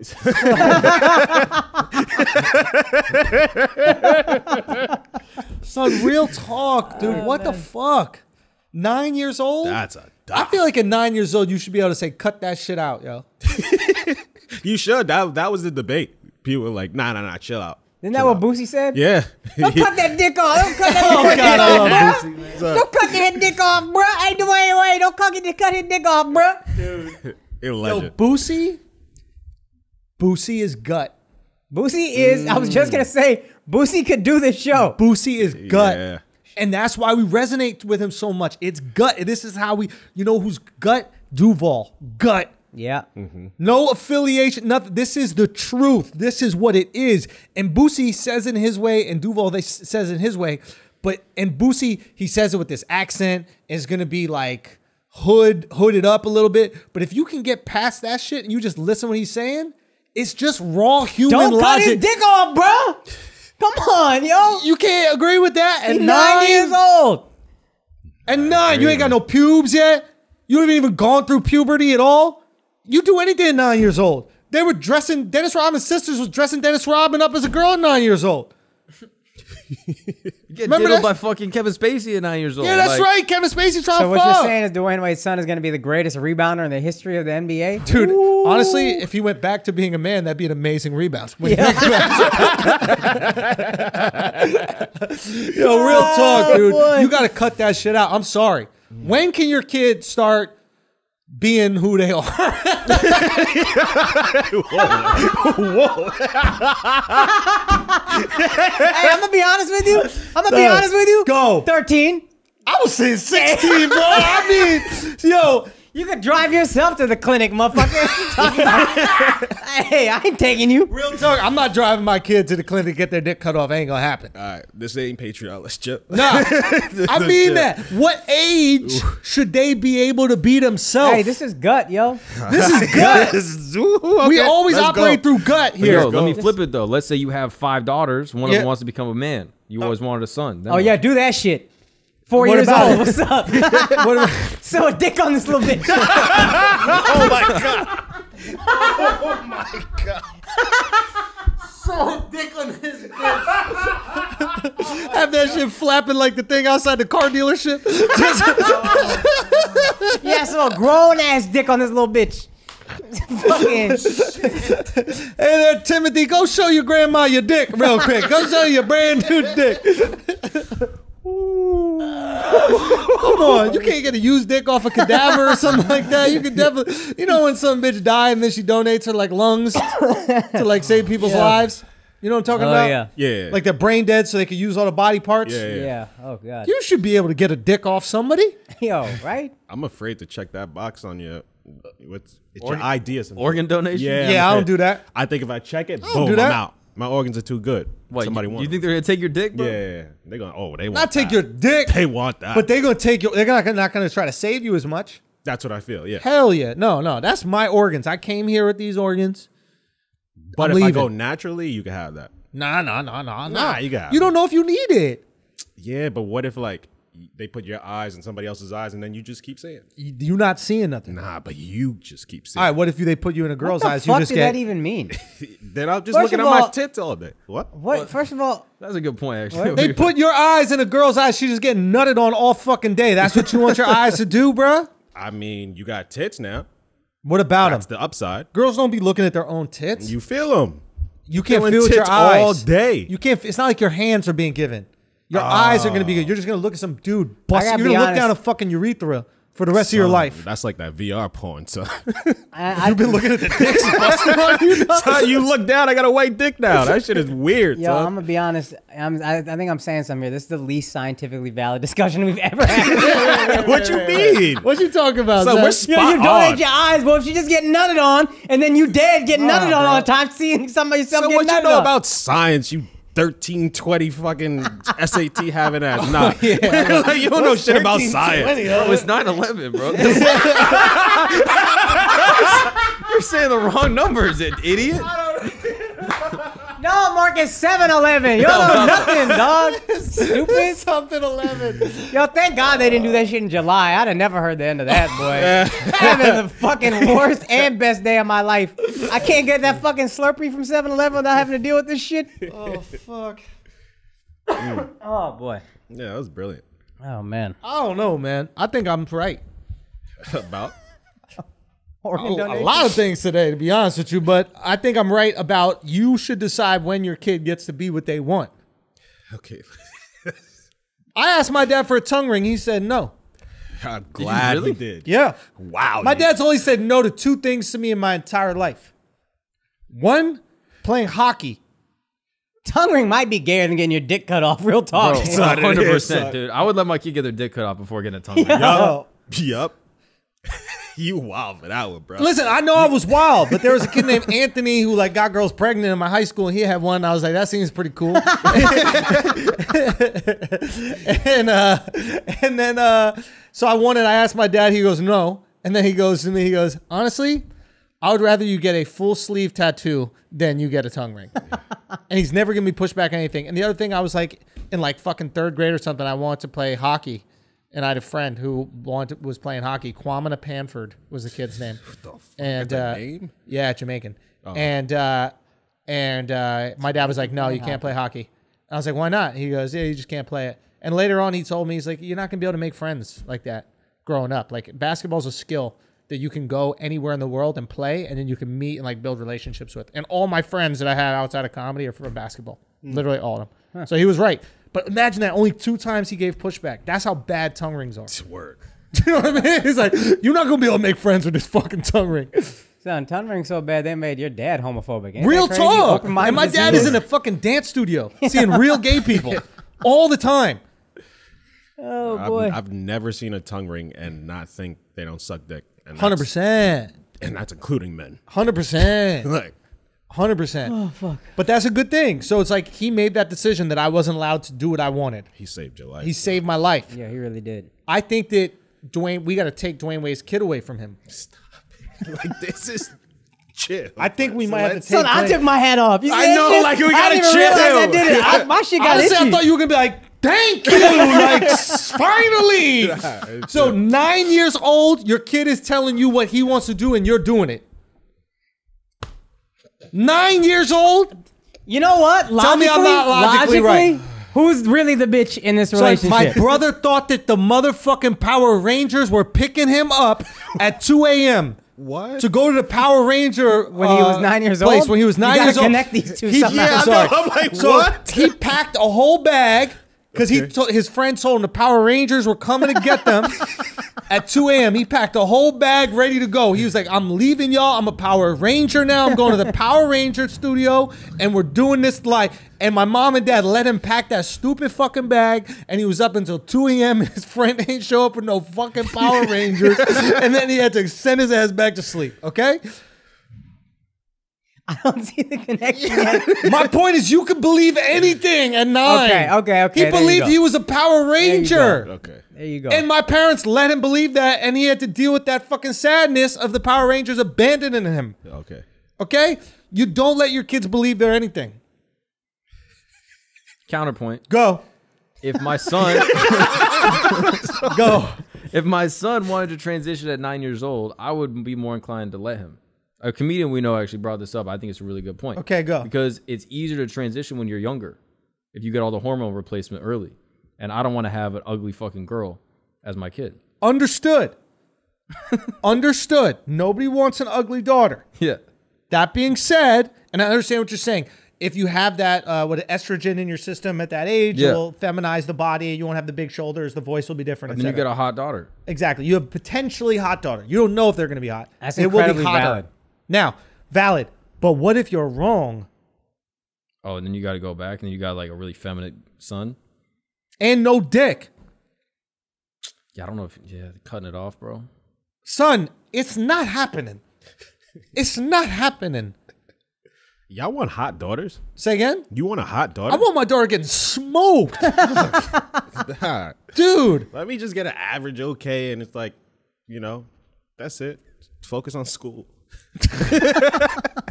Learn to cook. Yeah. Bro, you fucking vacuum cleaner having ass motherfucker. bro. Focus on school. Yeah. Nah, bro. I'm telling you, I think that is. Did you just completely buy a vacuum cleaner so you could try your own abortions at home? I mean, the clinics are closed. Oh, gosh, come on, son. Oh, have a little no, decency. this son. attachment. It's really good. You should try it. Oh my god! That's what the social distancing scoop scoop. oh my god, That's why it's called the Dyson ball vacuum, bro. Gotta vacuum up those balls, bro. Fuck. All oh, right, God. let's get this. Come on, let's let's lock in here. Let's get this train back on the tracks. Huh? Yeah, come on, man. Why are we Oh, not man. on the tracks? Okay. Yeah. You What have this one have? thing about uh, NBA dynasties being miserable. Why do you say that? Yo, so I was listening again to take it. This guy wrote a Yeah. book he, about the, the Warriors. I know. Go work for a fucking ticket. You cuck. I'm Like, ticket with all my free time. Bro, Akaash talks more about Akaash talks more about reading one book than anyone I've ever met. no, wait, Nah, wait. different book. one This more is different Akaash book. talks about reading one book more than anyone I've ever This is a different book. Rich dad, poor dad. No finance. He went to Pansy. Save, save the money and listen to my Tiki Wiki so I can learn the sports in Taoist. We have to take down the Fed. I don't want to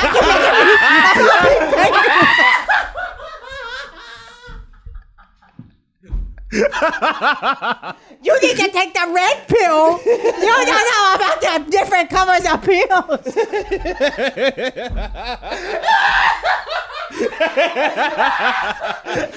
you don't know about Sam Cooke and what happened to Sam Cooke?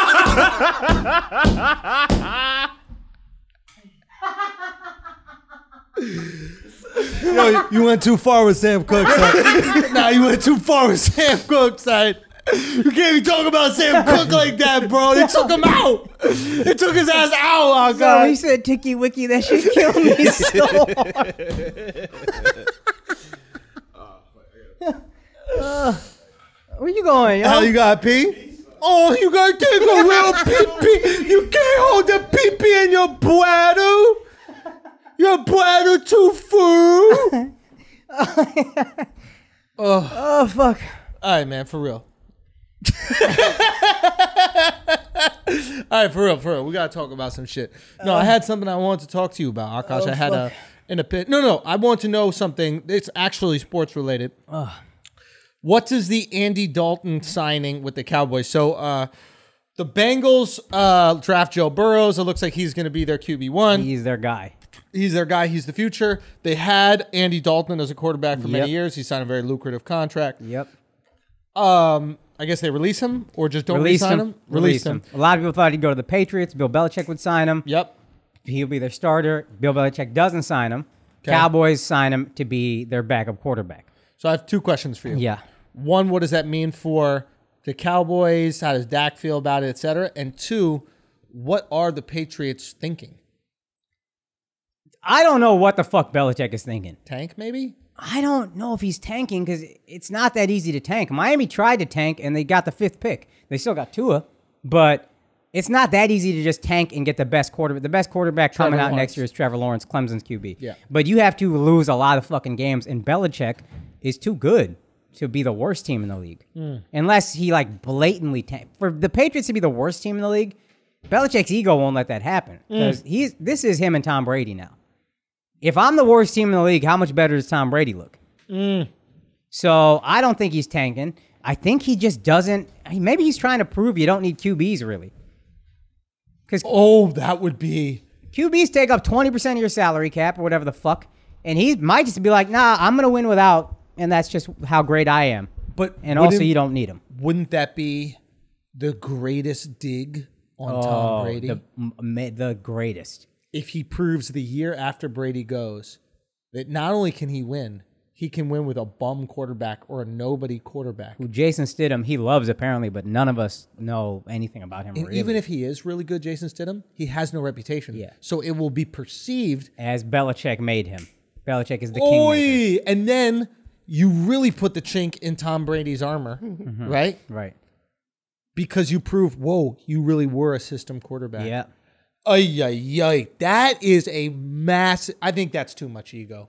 I think it's too much ego, and I don't think he'll do it. But if he can, and he's just like Andy Dalton's not that great. Like, why would I waste my time? I, I believe in this kid. Let's do it with this kid.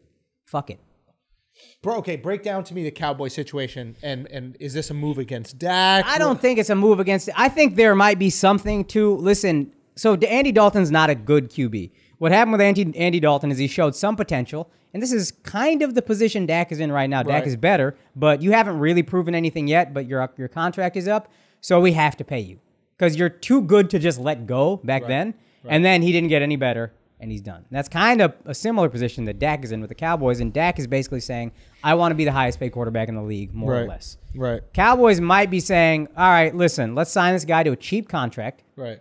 And if you want to hold out, we're not fucked anymore. So your leverage has gone away a little bit. You can't just say, like what Ezekiel Elliott did last year, is he held out and was like, look, if I'm not there as your running back, you got nothing.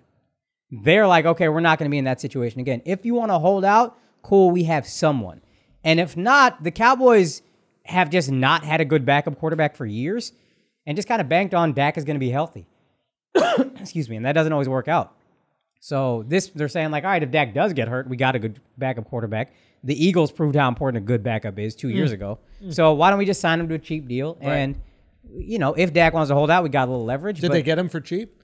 yeah, three million dollars guaranteed, which is nothing. And then if he wins the Super Bowl, he gets seven million, like the ma- the most he could possibly. So there was get. no market for him whatsoever. It seems like there wasn't, but he said, "I want to play with Mike McCarthy because I know McCarthy essentially makes QBs better." I think Andy Dalton's play is, "I'm going to sign for one year, I'm going to get better, and then I'm going to go sign a bigger deal elsewhere, hopefully." and hopefully McCarthy tells other coaches, "Yo, he was killing in practice. Yes. He's actually better than." Teddy Bridgewater, what he did with the Saints. but he had an opportunity to play with the and Saints. it- he didn't know that he would, but he was like, I want to, because he signed two contracts with them. One year last, like year before last, Yep. he didn't play. Then signed with them again. I'm pretty sure to be the backup again. And he had starting offers. I'm pretty sure. And he said, "No, I'm going to stick here one more year. I'm learning a lot, whatever." Hmm. And then he got his chance to play. Went five and 0, 6 and 0, whatever it was. And now he got his contract. And then he got his contract. Ah, okay, so that's a smart move by Dalton. so I think it's a smart move by Dalton. And he went to college in Fort Worth, which is right by Dallas, so he's Uh, comfy there. Yeah, this is a convenience move. I made my money. He probably what made a decent. I mean, what did the contract he signed was over 100 million Yeah, with the Bengals, but he didn't yeah. get paid. He got paid most of it, I'm sure. I mean, he got a, he got a big signing bonus. Probably he probably has 50 million in the bank or whatever. So whatever. he's set no matter He's what. good for life. I'm gonna be. Con- this is a the marriage of convenience for me right now. Yeah. If it works out, great. If it doesn't, I'm fucking in Dallas. I've got family. I've got friends. And being there. a backup QB is a great job. Three million dollars to not get CTE. Fuck yeah, let's go. I'm just in practice, whatever. And the Cowboys might also sign him because you play. They're playing his old division this year. Oh, they're so he playing the is entire good. AFC North, so he can tell me something about these guys. He can give me a little bit of intel on these guys. He played them twice a year. I haven't played them in three There's years. been a change in scheduling. just the way the NFL schedules work is they rotate. You play your division twice. Ah. Yeah. Then you play one division from the NFC and one division from the AFC, and that switches every year. And then it Ah. goes back. And then you play two like a two or three random games. But like 14, 13 games, whatever it is, are set. That's smart. Great Yeah. for scouting. You So- spend three million dollars and you get someone who's got expertise. Scouting, experience. great insurance policy if Dak gets hurt. Yeah. and if Dak holds out, we're not fucked anymore. Whereas before they had a seventh round draft pick Yeah. and then another undrafted guy that sucks as the only backup. And if he does uh, end up playing some games and sucking, we know exactly what Andy Dalton is capable of because he's got weapons. yeah. He's got weapons with the Cowboys now. Oh yeah, he's got weapons. Yeah. Now is Witten coming back? Witten is gone. He Definitely signed with the. Raiders. Done. Oh, he's gonna. He signed with the Raiders. He was kind of washed anyway. He came back and he just he already probably needed to retire. Retired for a year. Came back more washed essentially. Like no yards after the catch. The Cowboys got a tight end that's got some promise, so they Yeah. were like, just go. McCarthy came in. He was like, I'm not tied to you. And the can go. Raiders picked him up. Raiders picked him up. I think maybe a leadership thing, a character thing, maybe. Um, He doesn't start, but he controls the locker room. I think he's gonna maybe start like for some reason, but yeah, just you're a leadership guy. Be Right. there. Um, Cowboys What- let him go. Quick question: What leverage do the Cowboys have if they place the exclusive franchise tag on Dak? So if So no what one that else means can is sign him, you get a one year contract. If anybody wants to take you from me, I think at that point they have to give draft picks. Actually, I don't even think that's the case. It is you you we are guaranteeing you thirty one million dollars. Yep. And if you don't want to play, you don't get any of that money. If you want to play, you get thirty one million for this year, and then if we can hopefully work out a long term deal, and if not, we can tag you again for even more money the following year. Usually, because that money is based on the market and the salary cap. Wait, the so one he's thing is forced to take that. Like if he doesn't want that, he, no other team can get him, no team can get him, and he doesn't get paid. or he could or he could sit out. Oh, Yeah. so he's fucked. He's fucked. Well, he's not. The argument is he's fucked, but he'll also get. I believe you get the. Thirty-one million dollars. But why is it thirty-one million? It's based on. It's based on the top five highest paid quarterbacks or something. It's the average of the five highest contracts, something like so that. So you get the But average he of the wants highest. more. Is basically He wants more. he's holding out. That being said, you're going to get 31 million for one year, where he would never get that a year. Mm. So the argument is you're going to get guaranteed a much larger amount than you would get if we gave you a contract. no, but the thing is, the contract he's he they offered already. The whole disagreement, they offered him something like thirty-three million a year for five years. Yeah. He wants four years because TV money is going to kick in soon, like a new TV contract mm-hmm. that's going to be crazy, and the salary cap should jump up a bunch in the next four years, three years, whatever. so he's like, "Nah, I want four years. I want another big deal when that salary cap jumps." Which I'm, yeah, I get. You got to do that. If I'm the Cowboys, their point is take a little bit less for a little bit longer. Yeah. You also make a lot more being the Cowboys QB than you would anything else. Right. I think you can't say that to someone in a negotiation, expect them to be like, you're right, let me take less money. They're right. But what you got to do then is this kind of shit. You got to have insurance policies in place. It's like a Belichick move. Look, you want to play hardball? We're going to be fine. Hmm. You can sit out, sit out your 31 million. You're not getting any of these endorsements because you're not the Cowboys QB. Look what we're doing. Hmm. I think Dak made something like 50 million in endorsements apparently over his four years with the Cowboys. You're not making that with the fucking Cleveland Browns winning one playoff game in four years. Hmm. This seems like a very reasonable debate for both sides. Yeah. Yeah. Neither one is really asking for too much. Yeah. And if either if either party acquiesces, you can't be that critical of their Yeah. decision. Like, okay, if the if the Cowboys end up paying him, they were going to pay him after that fourth year Yeah. anyway. If he's actually good, And if he doesn't take it, he goes, "Look, I'm going to make so much more money anyway, just being the quarterback here." I mean, this I, like as long as you stretch this on, You know what's it's a interesting? waste though? of fucking time. You mm-hmm. know it's interesting though? If you franchise him and then he plays the full year, Yeah. next year, whatever that franchise tag number is, this year 31 million, it's based on the salary cap. The salary cap is based on revenue. TV contracts make up most NFL revenue, Yeah. but you know what else goes into it? Ticket gate. Like how many how many ah. people come to games? If Corona's still going and the NFL is like, look, we're gonna play games with no fans, that's gonna drop the salary cap. I heard 10%, but maybe more. Hmm. So if the salary cap drops, then the franchise tag drops. So if it go from hmm. 31 million to next year 25 million or whatever. I actually so think, you're I actually think it'll go up because I think people are going to be watching way. but more the TV contract is locked in. Oh yeah. You got paid. Now it's not the, oh, it's, na- it, it the doesn't network go by views. the network pays I'm going to pay you it's like licensing. I'm going to pay you 100 million dollars Oh, so I can play your games and then Based on I get the assumption advertising that money. we're going to get X amount of uh, people dollars. watching a Got it, game, and then it, I can it. get ad dollars based on that amount. So yeah, advertise the networks could be really happy because everybody's going to watch if there's nothing else. Yeah. But that's not going to affect the salary cap of the league. got you. Got you, That's got you. The ticket gate is uh, that's going to be a part of it. And if that drops, if I'm the Cowboys, I would wait to see what the NFL decides and how it goes. You It's play. a, a risky. Open up the It's season, a though. risky game Dak is playing though because if the dude that they signed, Andy Dalton, if Yeah. he like balls out one game, people gonna be like, "All right, Dak, you can sit out." Every game, if he Like, plays that's well, all it takes is him having a fucking what's his the Asian guy on the Knicks that Jeremy Lin? Lin. Yeah, all he has to have is a Jeremy Lin season. He got to get the opportunity. you mean though. you got to have one of the greatest seasons of all time? you got to drop 38 on the Lakers with Kobe? yeah, Um, but if Dak doesn't sign, then boom, he's Yeah. the quarter. football season, we should be ready to go.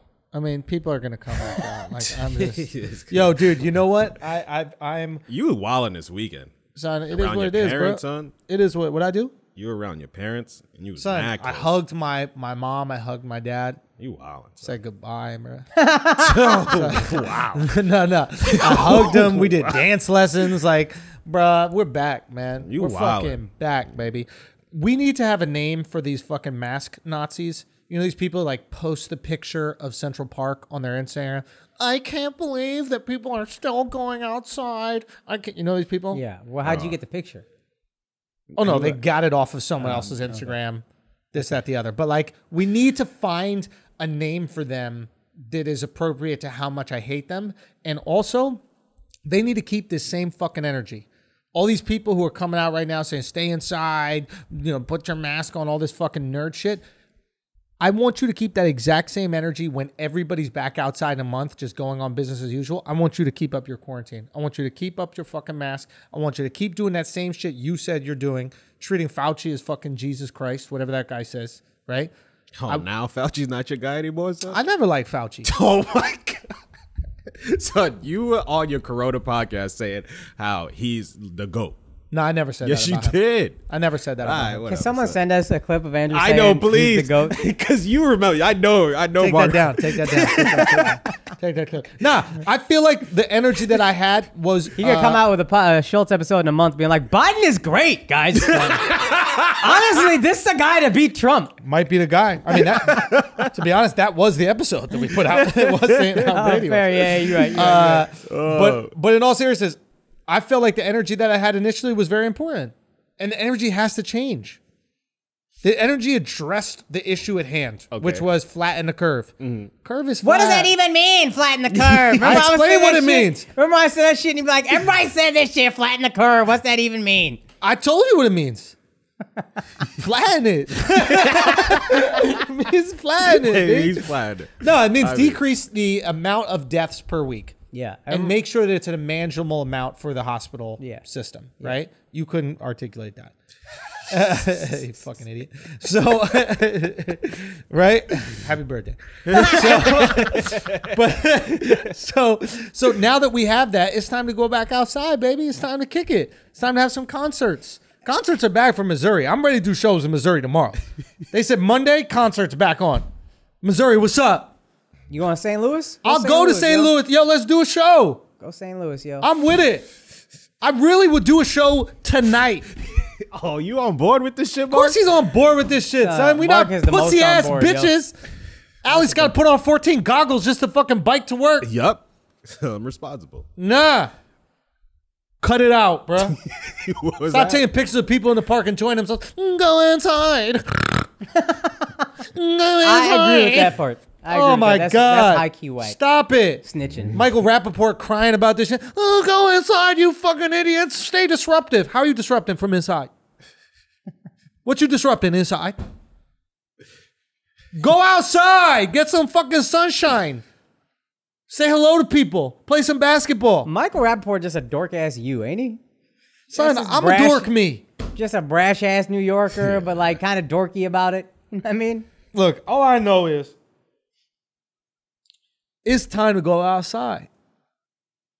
I agree. Start opening shit up. Let there we go. Start opening shit up. I think concerts are a little wild. Yeah. I, you know, phases. I'm about phases. I think we should only have mosh pits. I don't think we should even have chairs. I think it should be mosh pits. That's what I think it should be. I'm being dead serious with you. Let's go. Let's take the subway. Y'all want to take the subway back? Nah. Let's take the subway. I'm good. Son, I'm let's good. do it. You wouldn't take the subway before the I know, virus. right? That's true. Yeah. At night, during the day, I always took subway. You go Uber here. You know what I mean? If, first of all, nah, you took Uber fucking everywhere, bro. I did. I've saved a lot of money now that I don't Uber. It's amazing. I love looking at my Amex at the end of the month. It'd Yeah, like, what's up? That shit low, right? Ain't no points coming in. Yo, But in oh. all seriousness, I think we need to find a name for the mass Nazis. What should it be? What should we call them? Mark, what should we call Max? the mass Nazis? Oh, I was trying to think about like the Mastapo or something. The like- Mastapo. Something not about it. taking the pictures of people enjoying themselves and going, stop this. Stop having fun in a park. you fucking losers. what a fucking loser sees a bunch of people having fun in a park and goes, stop it. Hey, what are we doing? We're not taking this serious. Shut the fuck up. That's who you want to be in history. That's who you want to tell your kids who you were. I remember the corona pandemic. I was the one taking pictures of people in the park, telling them to stop doing that. yeah, it's a snitch move. You gotta be It's a dork move, You're on the right side of history, man. Just uh, exactly be on the right side of history. You know what I'm saying? You don't want to be one of the motherfuckers saying, "Hey, Anne Frank's in the attic." Do you know what I'm saying? You want to be eating lunch downstairs, like I don't know who's an addict. Someone's an addict? Yeah, no, I agree. You can't snitch. Don't snitch. Mm, yeah, that's whack. That's whack. Yeah. Enjoy yourself in the park, bro. Play a game pickup. hey, dog. It's so funny. You keep touching your nose, and I can't stop looking at this giant red dot right dead center on your nose. I'm sorry I had to do this, but Bro, you really I had a pimple, bro. it looked like you got an infrared beam. I had a fucking Bro, pimple, dog. You look like Akaash if his dot falls That's what. I was thinking. Son, that's what I was thinking. Dog, thinking. it's all good. I sweaty. understand it. I got a pimple on my motherfucking nose. How are you gonna okay? snitch on his pimple right now, bro? We're talking about snitches. Dude? There's nothing I could do about it. Okay, He got his own I popped that shit. That shit started bleeding a lot. Why'd you pop it? say again? Why'd you Pop It was it? white at the top. It's his Yeah, own. you're white. You can still see it. Nah, You can still see you can't it. see trust white me. on white. Yes, you can. You got your own push to Air start. Force One. I did, I pushed that shit. He gonna start talking about big banks. dude. Hold on one second. Did I kick, take the scab off? Look, it is what it is. This is the life I've chosen. That, that's how I know we started recording. He just looked at me, and I saw the red dot.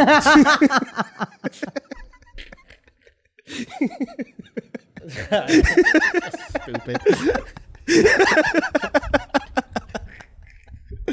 All right, bro. Come on, bro. That's not funny, man. It wasn't. hey, bro. That's not funny, bro. It wasn't Seinfeld, bro. Seinfeld would never make a joke like that, right? this would be the episode of Seinfeld. It'd be like, oh, wow, that's so weird that something red is there. Something else red happened in this episode. Let's let these two storylines come together. the jokes on him. Now he got me. Now he got to be a hater. hater. Whoa! Your nose is red, Seinfeld. Whoa! All right, we're gonna take a break real quick because we gotta we gotta tell y'all about the best motherfucking cereal on the planet. You know about Magic Spoon, bro? Hell yeah, yo. Do you know why they call it Magic Spoon? Why? Tastes so good, you think the spoon magic? Oh shit, yo. It's gotta be the spoon. It's just like Michael Jordan was so good at basketball. It's gotta be the what? Shoes. The cereal's so good, you're like, it gotta be the spoon. Mm. There's no way cereal could taste it good and be actually healthy for you. Mm. I mean, that's really what's going down with this Magic Spoon. Bruh. It's literally healthy cereal that tastes delicious and all the best flavors. What's the best flavor? The frosted one. Frosted. they got frosted. What else? They, what else is mad good in flavor and cereal? Cocoa, Oh, yo. cocoa. Yo, they got They got cocoa. They got cocoa. They got cocoa. Cocoa. Cocoa. Bro, you know what cereal they eat in Charmed? What's that? Magic Spoon. We don't even know what part of the episode this is going in. It could be before, it could be after. But Mark might have had a premonition. Dude, Mark killed that. You know what I'm saying, son? You know what I'm saying, son? We out here. Yo, Magic Spoon. Honestly, no bullshit. Absolutely delicious. I start the day. Sometimes when I want to get my sugars, Mhm. sometimes when I want to just get a little sugar pop, but not too much sugar because it's healthy cereal. Mhm. You know, low carbs, got low all the other stuff. It's low ass sugar. It's there, it's no it's no like artificial sugar, right? Son, this shit, you want me to tell you exactly what's in this shit? yeah, please do. Dude, Magic Spoon is literally, it's the best cereal that I've had, bro. It's I- not even a it's game. so good. I assume it's mad sugars. Son, Nah. it's not, You gotta dog. add maple syrup. There's to no it way it's sometimes. keto friendly. son, oh, it's keto friendly, son. It's keto friendly. Son, it's keto friendly, son. Get out of here. Son, Get out of town. son, I can't get out of town. I'm being dead serious. Look at, let me tell you about this right now. Let me get this up right here. Look at this. Really. Zero sugar. Zero fucking sugar. What? Zero. What? Okay. Okay. Right? 12 grams of protein. Twelve. What? I'm gonna be brolic. What? I'm gonna be brolic off cereal. what? Okay. Okay.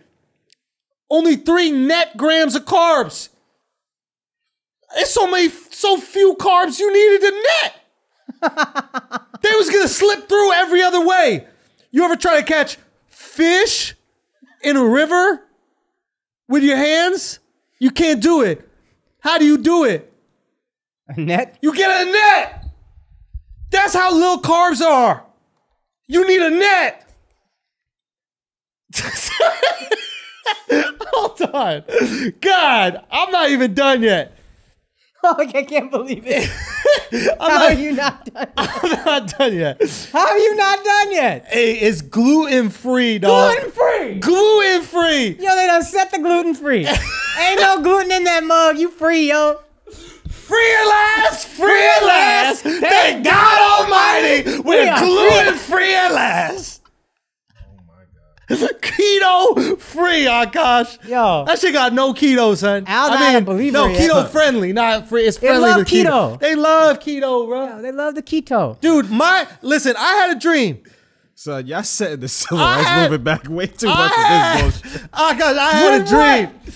I had a dream that young Coca-Cola kids and young fruity kids and young frosted kids and young blueberry kids will all play together in a cereal bowl. I Forgot about blueberries. I had They a dream. Motherfucking blueberries. I had a dream that you could add oat milk, macadamia milk, We just almond lost. milk. We just lost five black listeners. Keep going. I had a dream that I would have a keto-friendly, gluten-free, grain-free, soy, you know free, how I low could probably carb, get those GMO black free. listeners back if I had a magic spoon. Oh my God! Hey, come on back, fellas. Come scoop, scoop, on back. scoop, scoop. Come on back! Come on back! All right, we up to twenty. Keep going. Come on! Hey, hey, hey! All you gotta do is go. We didn't to, land on magic spoon. magic spoon landed on us. All that's right. a fact. We officially a white podcast. Oh yeah, we a white podcast. Oh yeah, oh yeah. What's the ba- best black strip club in the motherfucking world? Which city? Al, Which Al only city? knows about the white Which strip city? clubs. Atlanta. No. What's Magic the name? City. Magic City, oh. motherfucker. What's what kind of cereal do you think they serve in Magic City? Magic Spoon. Magic spoon. How you think they scoop out the yeast infections of them girls in there? Oh With a magic spoon too. Let's let me tell you something. Oh, shut the fuck up, Al. yo. Y'all are idiots right now. Hey, magicspoon.com slash flagrant. You get a variety pack and try it today. And be sure use our promo code flagrant at checkout. You're gonna get free shipping on that ass. Free shipping all over that ass. Wait, hold on. Where is the shipping? That shipping is gonna be all over that ass, and it's gonna be free. Yeah, it is. All over that ass. Let me tell you something. This is how confident Magic Spoon is in the product. This is how confident Let Magic. Spoon. is. I can't believe I'm about to say. it. I gotta take my hat off. I gotta take my hat off. Magic Spoon is so confident in their product, it's backed by a 100% happiness guarantee. God damn. It's a spoonful of happiness right there. That's a spoonful of happiness. That means when you take a spoonful of it, all you're gonna feel is happiness. little magic. Little magic is on the spoon, hence the name, Al. So if you don't like it for any reason, they'll refund your money. No questions asked. No questions asked. If you don't like it, if you don't feel magic on that fucking spoon, you get your money back. Think about that. Is there a better deal than that? That was pretty magical. You keep that motherfucking cereal. That wasn't magical. You get to still keep the cereal, then you get your money back. That's crazy. You would have to be a stupid person not to take that bet. That's actually for real. You'd have to be stupid. You have to be real stupid. You have to be Alex level stupid. You have to be Al level stupid. You have to be. That's the only way. All these people donating uh, food to the food bank of LA, Oh, just shit. Magic Spoon. bruh. If you don't find yourself being happy afterwards, they're gonna give it back. I don't even know what else I have to tell you besides go to magicspoon.com slash flagrant and use the promo code flagrant. Are we done here? I feel like we killed it. Let's get back to the show. All right, so we'll talk about something important like Killmonger versus Loki. Like, why do you put this shit? All right, on let's the end the fucking episode. notes? All right, guys, like, we why do ran you out of put that on about. the notes? son? I put mad topics. You guys can Yeah, choose. but you can I'm not gonna lie. What- what- hey, where were Akaash- the black topics? Don't this worry week? about that. We Where were talking the about black you topics right now. week? Akaash, eh, that's right. I was scared to talk about his black shit. Oh yeah. gonna you don't want to be represented on a podcast? You don't want we gonna black talk about thoughts next week represented on a podcast? after you watch some black art, and then we can. I watched it. it. No, you didn't. I did watch it. What happens in that episode? Some black ass They're shit. black bro. as fuck, yo. no, it's black as fuck. So Alex saw this black as fuck show. Nah, on- let's just talk about it. It's a good discussion. Let's say. so then start the discussion. Why would Nah, you because watch you it have to to know watch about it. it? I gotta watch the whole episode. I watched episode one. The shit was mad boring. Yo. Nah, the show isn't that great, but every once in a while they have a couple of. it's five, six episodes. You time every Nah, once it's in a while. 10, 10 episodes, Oh my god. The full season. Son, just tell us the argument. Let's and just wrap have it up. Let's wrap it up. Tell us the argument. It was something about Tyler Perry versus Kenya Barris or whatever. next week. What is the argument? Next week, I want you to watch. I'm it. not gonna watch it. I've already put my. You know what we can could do? I'm not gonna watch it now. I'm not gonna watch it. but I like the argument, and I'll have the discussion. Nah, Kenya Barris is the guy who made Blackish, Brownish, all the ish shows. Tyler Perry is the guy who made Tyler Perry Studios based off of the The millions and millions of dollars he's made off of Madea and uh, all the other like Meet movies and television shows that he's made. Yeah. And the argument is that Kenya Barris is making television for white people to indulge in black culture, and Tyler Perry makes uh, television and movies for black people to indulge in their own culture. Is that more or less? it's pretty good. Yeah. the thing. And um, so what what is the what is the discussion that Another layer to it is that um, uh, black people can't speak out negatively about other black art because uh, we have very little opportunities in Hollywood. So if you knock black art that's currently out, ah it lowers our chances at more opportunities. But the downside to that is by not knocking the shit that's whack, then you'll never get we'll- the shit you want. Exactly, and we'll create whack shit.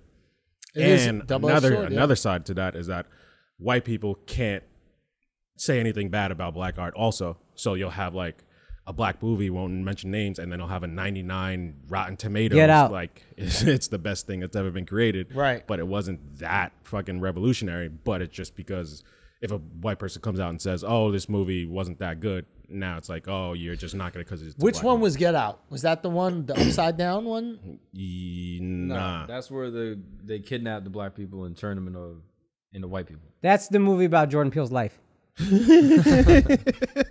That was Stepford Wives, right? That's Jordan Yeah, Peele every yeah, time yeah. he's been attracted to a woman. right. So when he That's Jordan Peele making a movie about how awful white women are while only dating and marrying a white woman. white woman, yeah, of course, this is him projecting or something.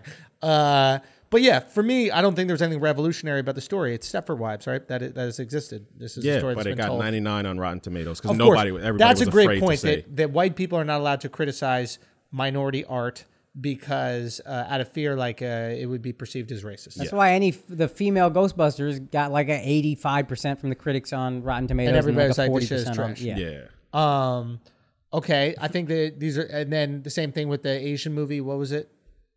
Something, Oh, Crazy Rich Asians, not a good movie. not a good movie, but white people are like, oh, I love Crazy Yeah, Rich I mean, I Asians. mean, same It was thing so with. Nanette, and then the Chappelle special was inverse, Yeah. where like Rotten Tomatoes was trash on it, but the audience rating was super high. So has Chappelle transcended his blackness? Now Chappelle is just a he's Because Chappelle is going at quote unquote like m- lesser minorities or like people who are more minorities than black people. Right, I which is understand- trans, whatever. I understand why the the criticism, right? Because he's not going along with like uh, the way Hollywood, uh, you know, sets up its ideals. But why is he criticizable despite his mm. blackness? And I think it's because he's transcended his blackness. I think Chappelle has just become Chappelle, not black comic Chappelle. Let me just make the point. And so it's like once he's become that, now you could criticize him if his opinions are not in line. Because the argument that they're making right now is you can't criticize black art because of blackness, not because of the opinion within the art. yeah. Right. So Chappelle is was highly criticized and he was knocked for his special because he went after these groups, but maybe he's transcended his blackness so that you can criticize him where you couldn't do that with somebody else. I think there's like a like unspoken hierarchy like of minorities within like liberal white people's mind. Right. So when Tracy Morgan says some shit that's not a good joke, but he's like, if I have a gay son, I'm gonna kill him, whatever. Yeah. Oh, you're a black person, but you're going at gay people. They are more minority or whatever, however, whatever the word is. They're like they're Right. more oppressed. So you can't say that. It's just you can't punch down as this ideal that's been beaten into their minds. And if they feel like you are punching down to a more oppressed minority, then whoever you are, it's not okay. So to the Chappelle point, those white people that were being critical of Tracy, uh, Morgan, Morgan? they see him as Tracy Jordan from 30 Rock. Those are the same white people that watch 30 Rock. Those are the same white people that have maybe propped up Tracy Morgan to be this character, and all of a sudden that character character was saying things that didn't align with who his character was on the show. I think there's, a, I mean, this is a slur, so it's different. And I'm just trying to think of whatever examples pop into my head at the moment. I'm just saying, like they hear the same rappers say, like those white people will not criticize Jay Z or they'll criticize like any rapper for saying you know homophobic lyrics, this, that, the other. I think they're only willing to come at the people who've kind of transcended their blackness in a way, who became these like family names and like rap is hard because I think there's like a weird white people are so afraid to talk anything about rap that they let them get away with stuff they would never let a comic get away with. That Right. rap is like its own like white people are scared to even delve into those waters of what's offensive lyrics and what's not. right. But if a rapper said some shit not on a rap song that was homophobic or whatever, I think they'd be like, "Yo, you can't say that." Hmm. You know what I mean? Does that make Yeah. sense? Like if they say something on their social media or whatever the case is, people will come for them. But if they say that same thing in a song, it's like, oh, for some reason it's untouchable. It's like, untouchable. Yeah. Hmm. yeah, maybe. Yeah, it is interesting. I, I don't know. I don't know. Like, uh, yeah, I don't know. I just feel it's like a, it's like a weird, unspoken thing that everybody just abides by. which is All the things that I listed before, like white people can't knock black art, black people can only uh, show appreciation for other black art or Nah, but they used to quiet if you before like up until like a year and a half ago, black people used to shit on everything Tyler Perry. Like if you were woke black at all, you would shit on all Tyler Perry. I remember Red Tails coming out years ago, and all my like woke black friends were like, "Yo, don't watch." I think a Madea movie had come around at the same Mm-hmm. time. They're like, "Don't watch that shit. Watch Red Tails. Yo, that's a movie about black people." Blah blah blah. Red Tails was like a Steven Spielberg movie. You're just giving money back to a white guy. Yeah. Tyler Perry, that's trash. Don't go see that. That's going back into a black person's pocket who has a black studio in Atlanta, but somehow that's not cool to you. And then Twitter just caught on to what Tyler Perry does. So I, I I wouldn't say I vocalized it publicly, but I used to think on that same sentiment, and I was like, I don't like Tyler Perry films because like the characters in there are very stereotypical and like not coonish, but like like dance, you know, and Yeah. they're extra hood, extra all the negative con- connotations, whatever that word is, uh, that associated with black people. But then we felt that oh okay if he gets popularity with making those movies then those are going to be the only roles for black people that's why we knocked that shit because like i can still watch a tyler perry film and laugh at it but Madea I'm is a hilarious I'm character, hoping, objectively. i'm hoping that that's not the only movies i'm going to see Yeah, but you know what helps is black m- movies doing well. And also, the people I know that like Tyler Perry movies were black. So if my market, like if my people like this, who am I to shame them for liking anything we put out? Like I hear people try to say Russell Peters is like offensive because he makes accents. Indians I know growing up, we all loved Russell. Mm-hmm. So if he's making shit for us, who the fuck are you to tell him he's wrong or us we're wrong for liking someone that looks like us doing stuff that makes us laugh? Yeah. That's No, why I don't ag- understand the like the wokeness My- of I've it all. Definitely, my I've switched sides since. Like you know, I appreciate what I like and I knock what I don't. Is Tyler criticized by Southern blacks as I- I strongly as he's criticized by like? I think he's Northern only and criticized by blacks? woke whack, uh, woke, Woke blacks. blacks. That's that'd be my. So it's like, But depending The doesn't woke where they blacks kind of exist in like New York and California. they're more here. Major they're there, cities. but They're they're, more coastal, here. right? Yeah. I'm just curious because maybe their black, maybe their life within blackness is not relatable to what Tyler talks about, and maybe the characters that Tyler talks about seem cartoonish to these like New York and California blacks, but maybe they're like really relatable to figures in their lives to the Southern blacks. Like maybe they have an uncle that's I like think that. They that's have a- an aunt like I that. think it's a good they point. have a big mama. You know, they have these people that operate really similarly, and they're like, this isn't that crazy. you think it's cartoonish, but to us, it's not. Like Yeah. that Duck Dynasty show. I bet in New York and California, white people are like, ah, he's a bunch of hillbillies. I bet if you go down south, it's like, nah, I got an uncle that wears, uh, what is it called, army fatigues or whatever that shit is. Yeah. Oh shit, forgot to go. Uh, wears army fatigues or whatever every single day, just like that. So I wonder if it's just a lack of relatability. And one of the problems with like looking at blackness uh, as a monolith, like looking at one type of blackness, and then when you don't live up to that type of blackness, you're like, oh yeah, this doesn't make sense. I think the most interesting thing about like the Blackish show or like the Tyler Perry show, et cetera, is that I think oftentimes the way that, that people appreciate things are when they live up to your view of them. Hmm. Right? So it's like maybe the people that appreciate the Tyler Perry mu- movies, they're going, oh, yeah, this is how I see black people. And maybe the people that appreciate the Blackish shows are like, oh, this is how I see black people. Mm-hmm. I think that's where woke black people get offended. Though is they think white people look at black people like Madea. Yes. And and that's the thing is like white people aren't watching Madea. White people are watching Blackish, right? Because they maybe that's closer to how they see black people. They're like, okay, I see black people existing in these white spaces, and I see them acting quote unquote black within these white spaces.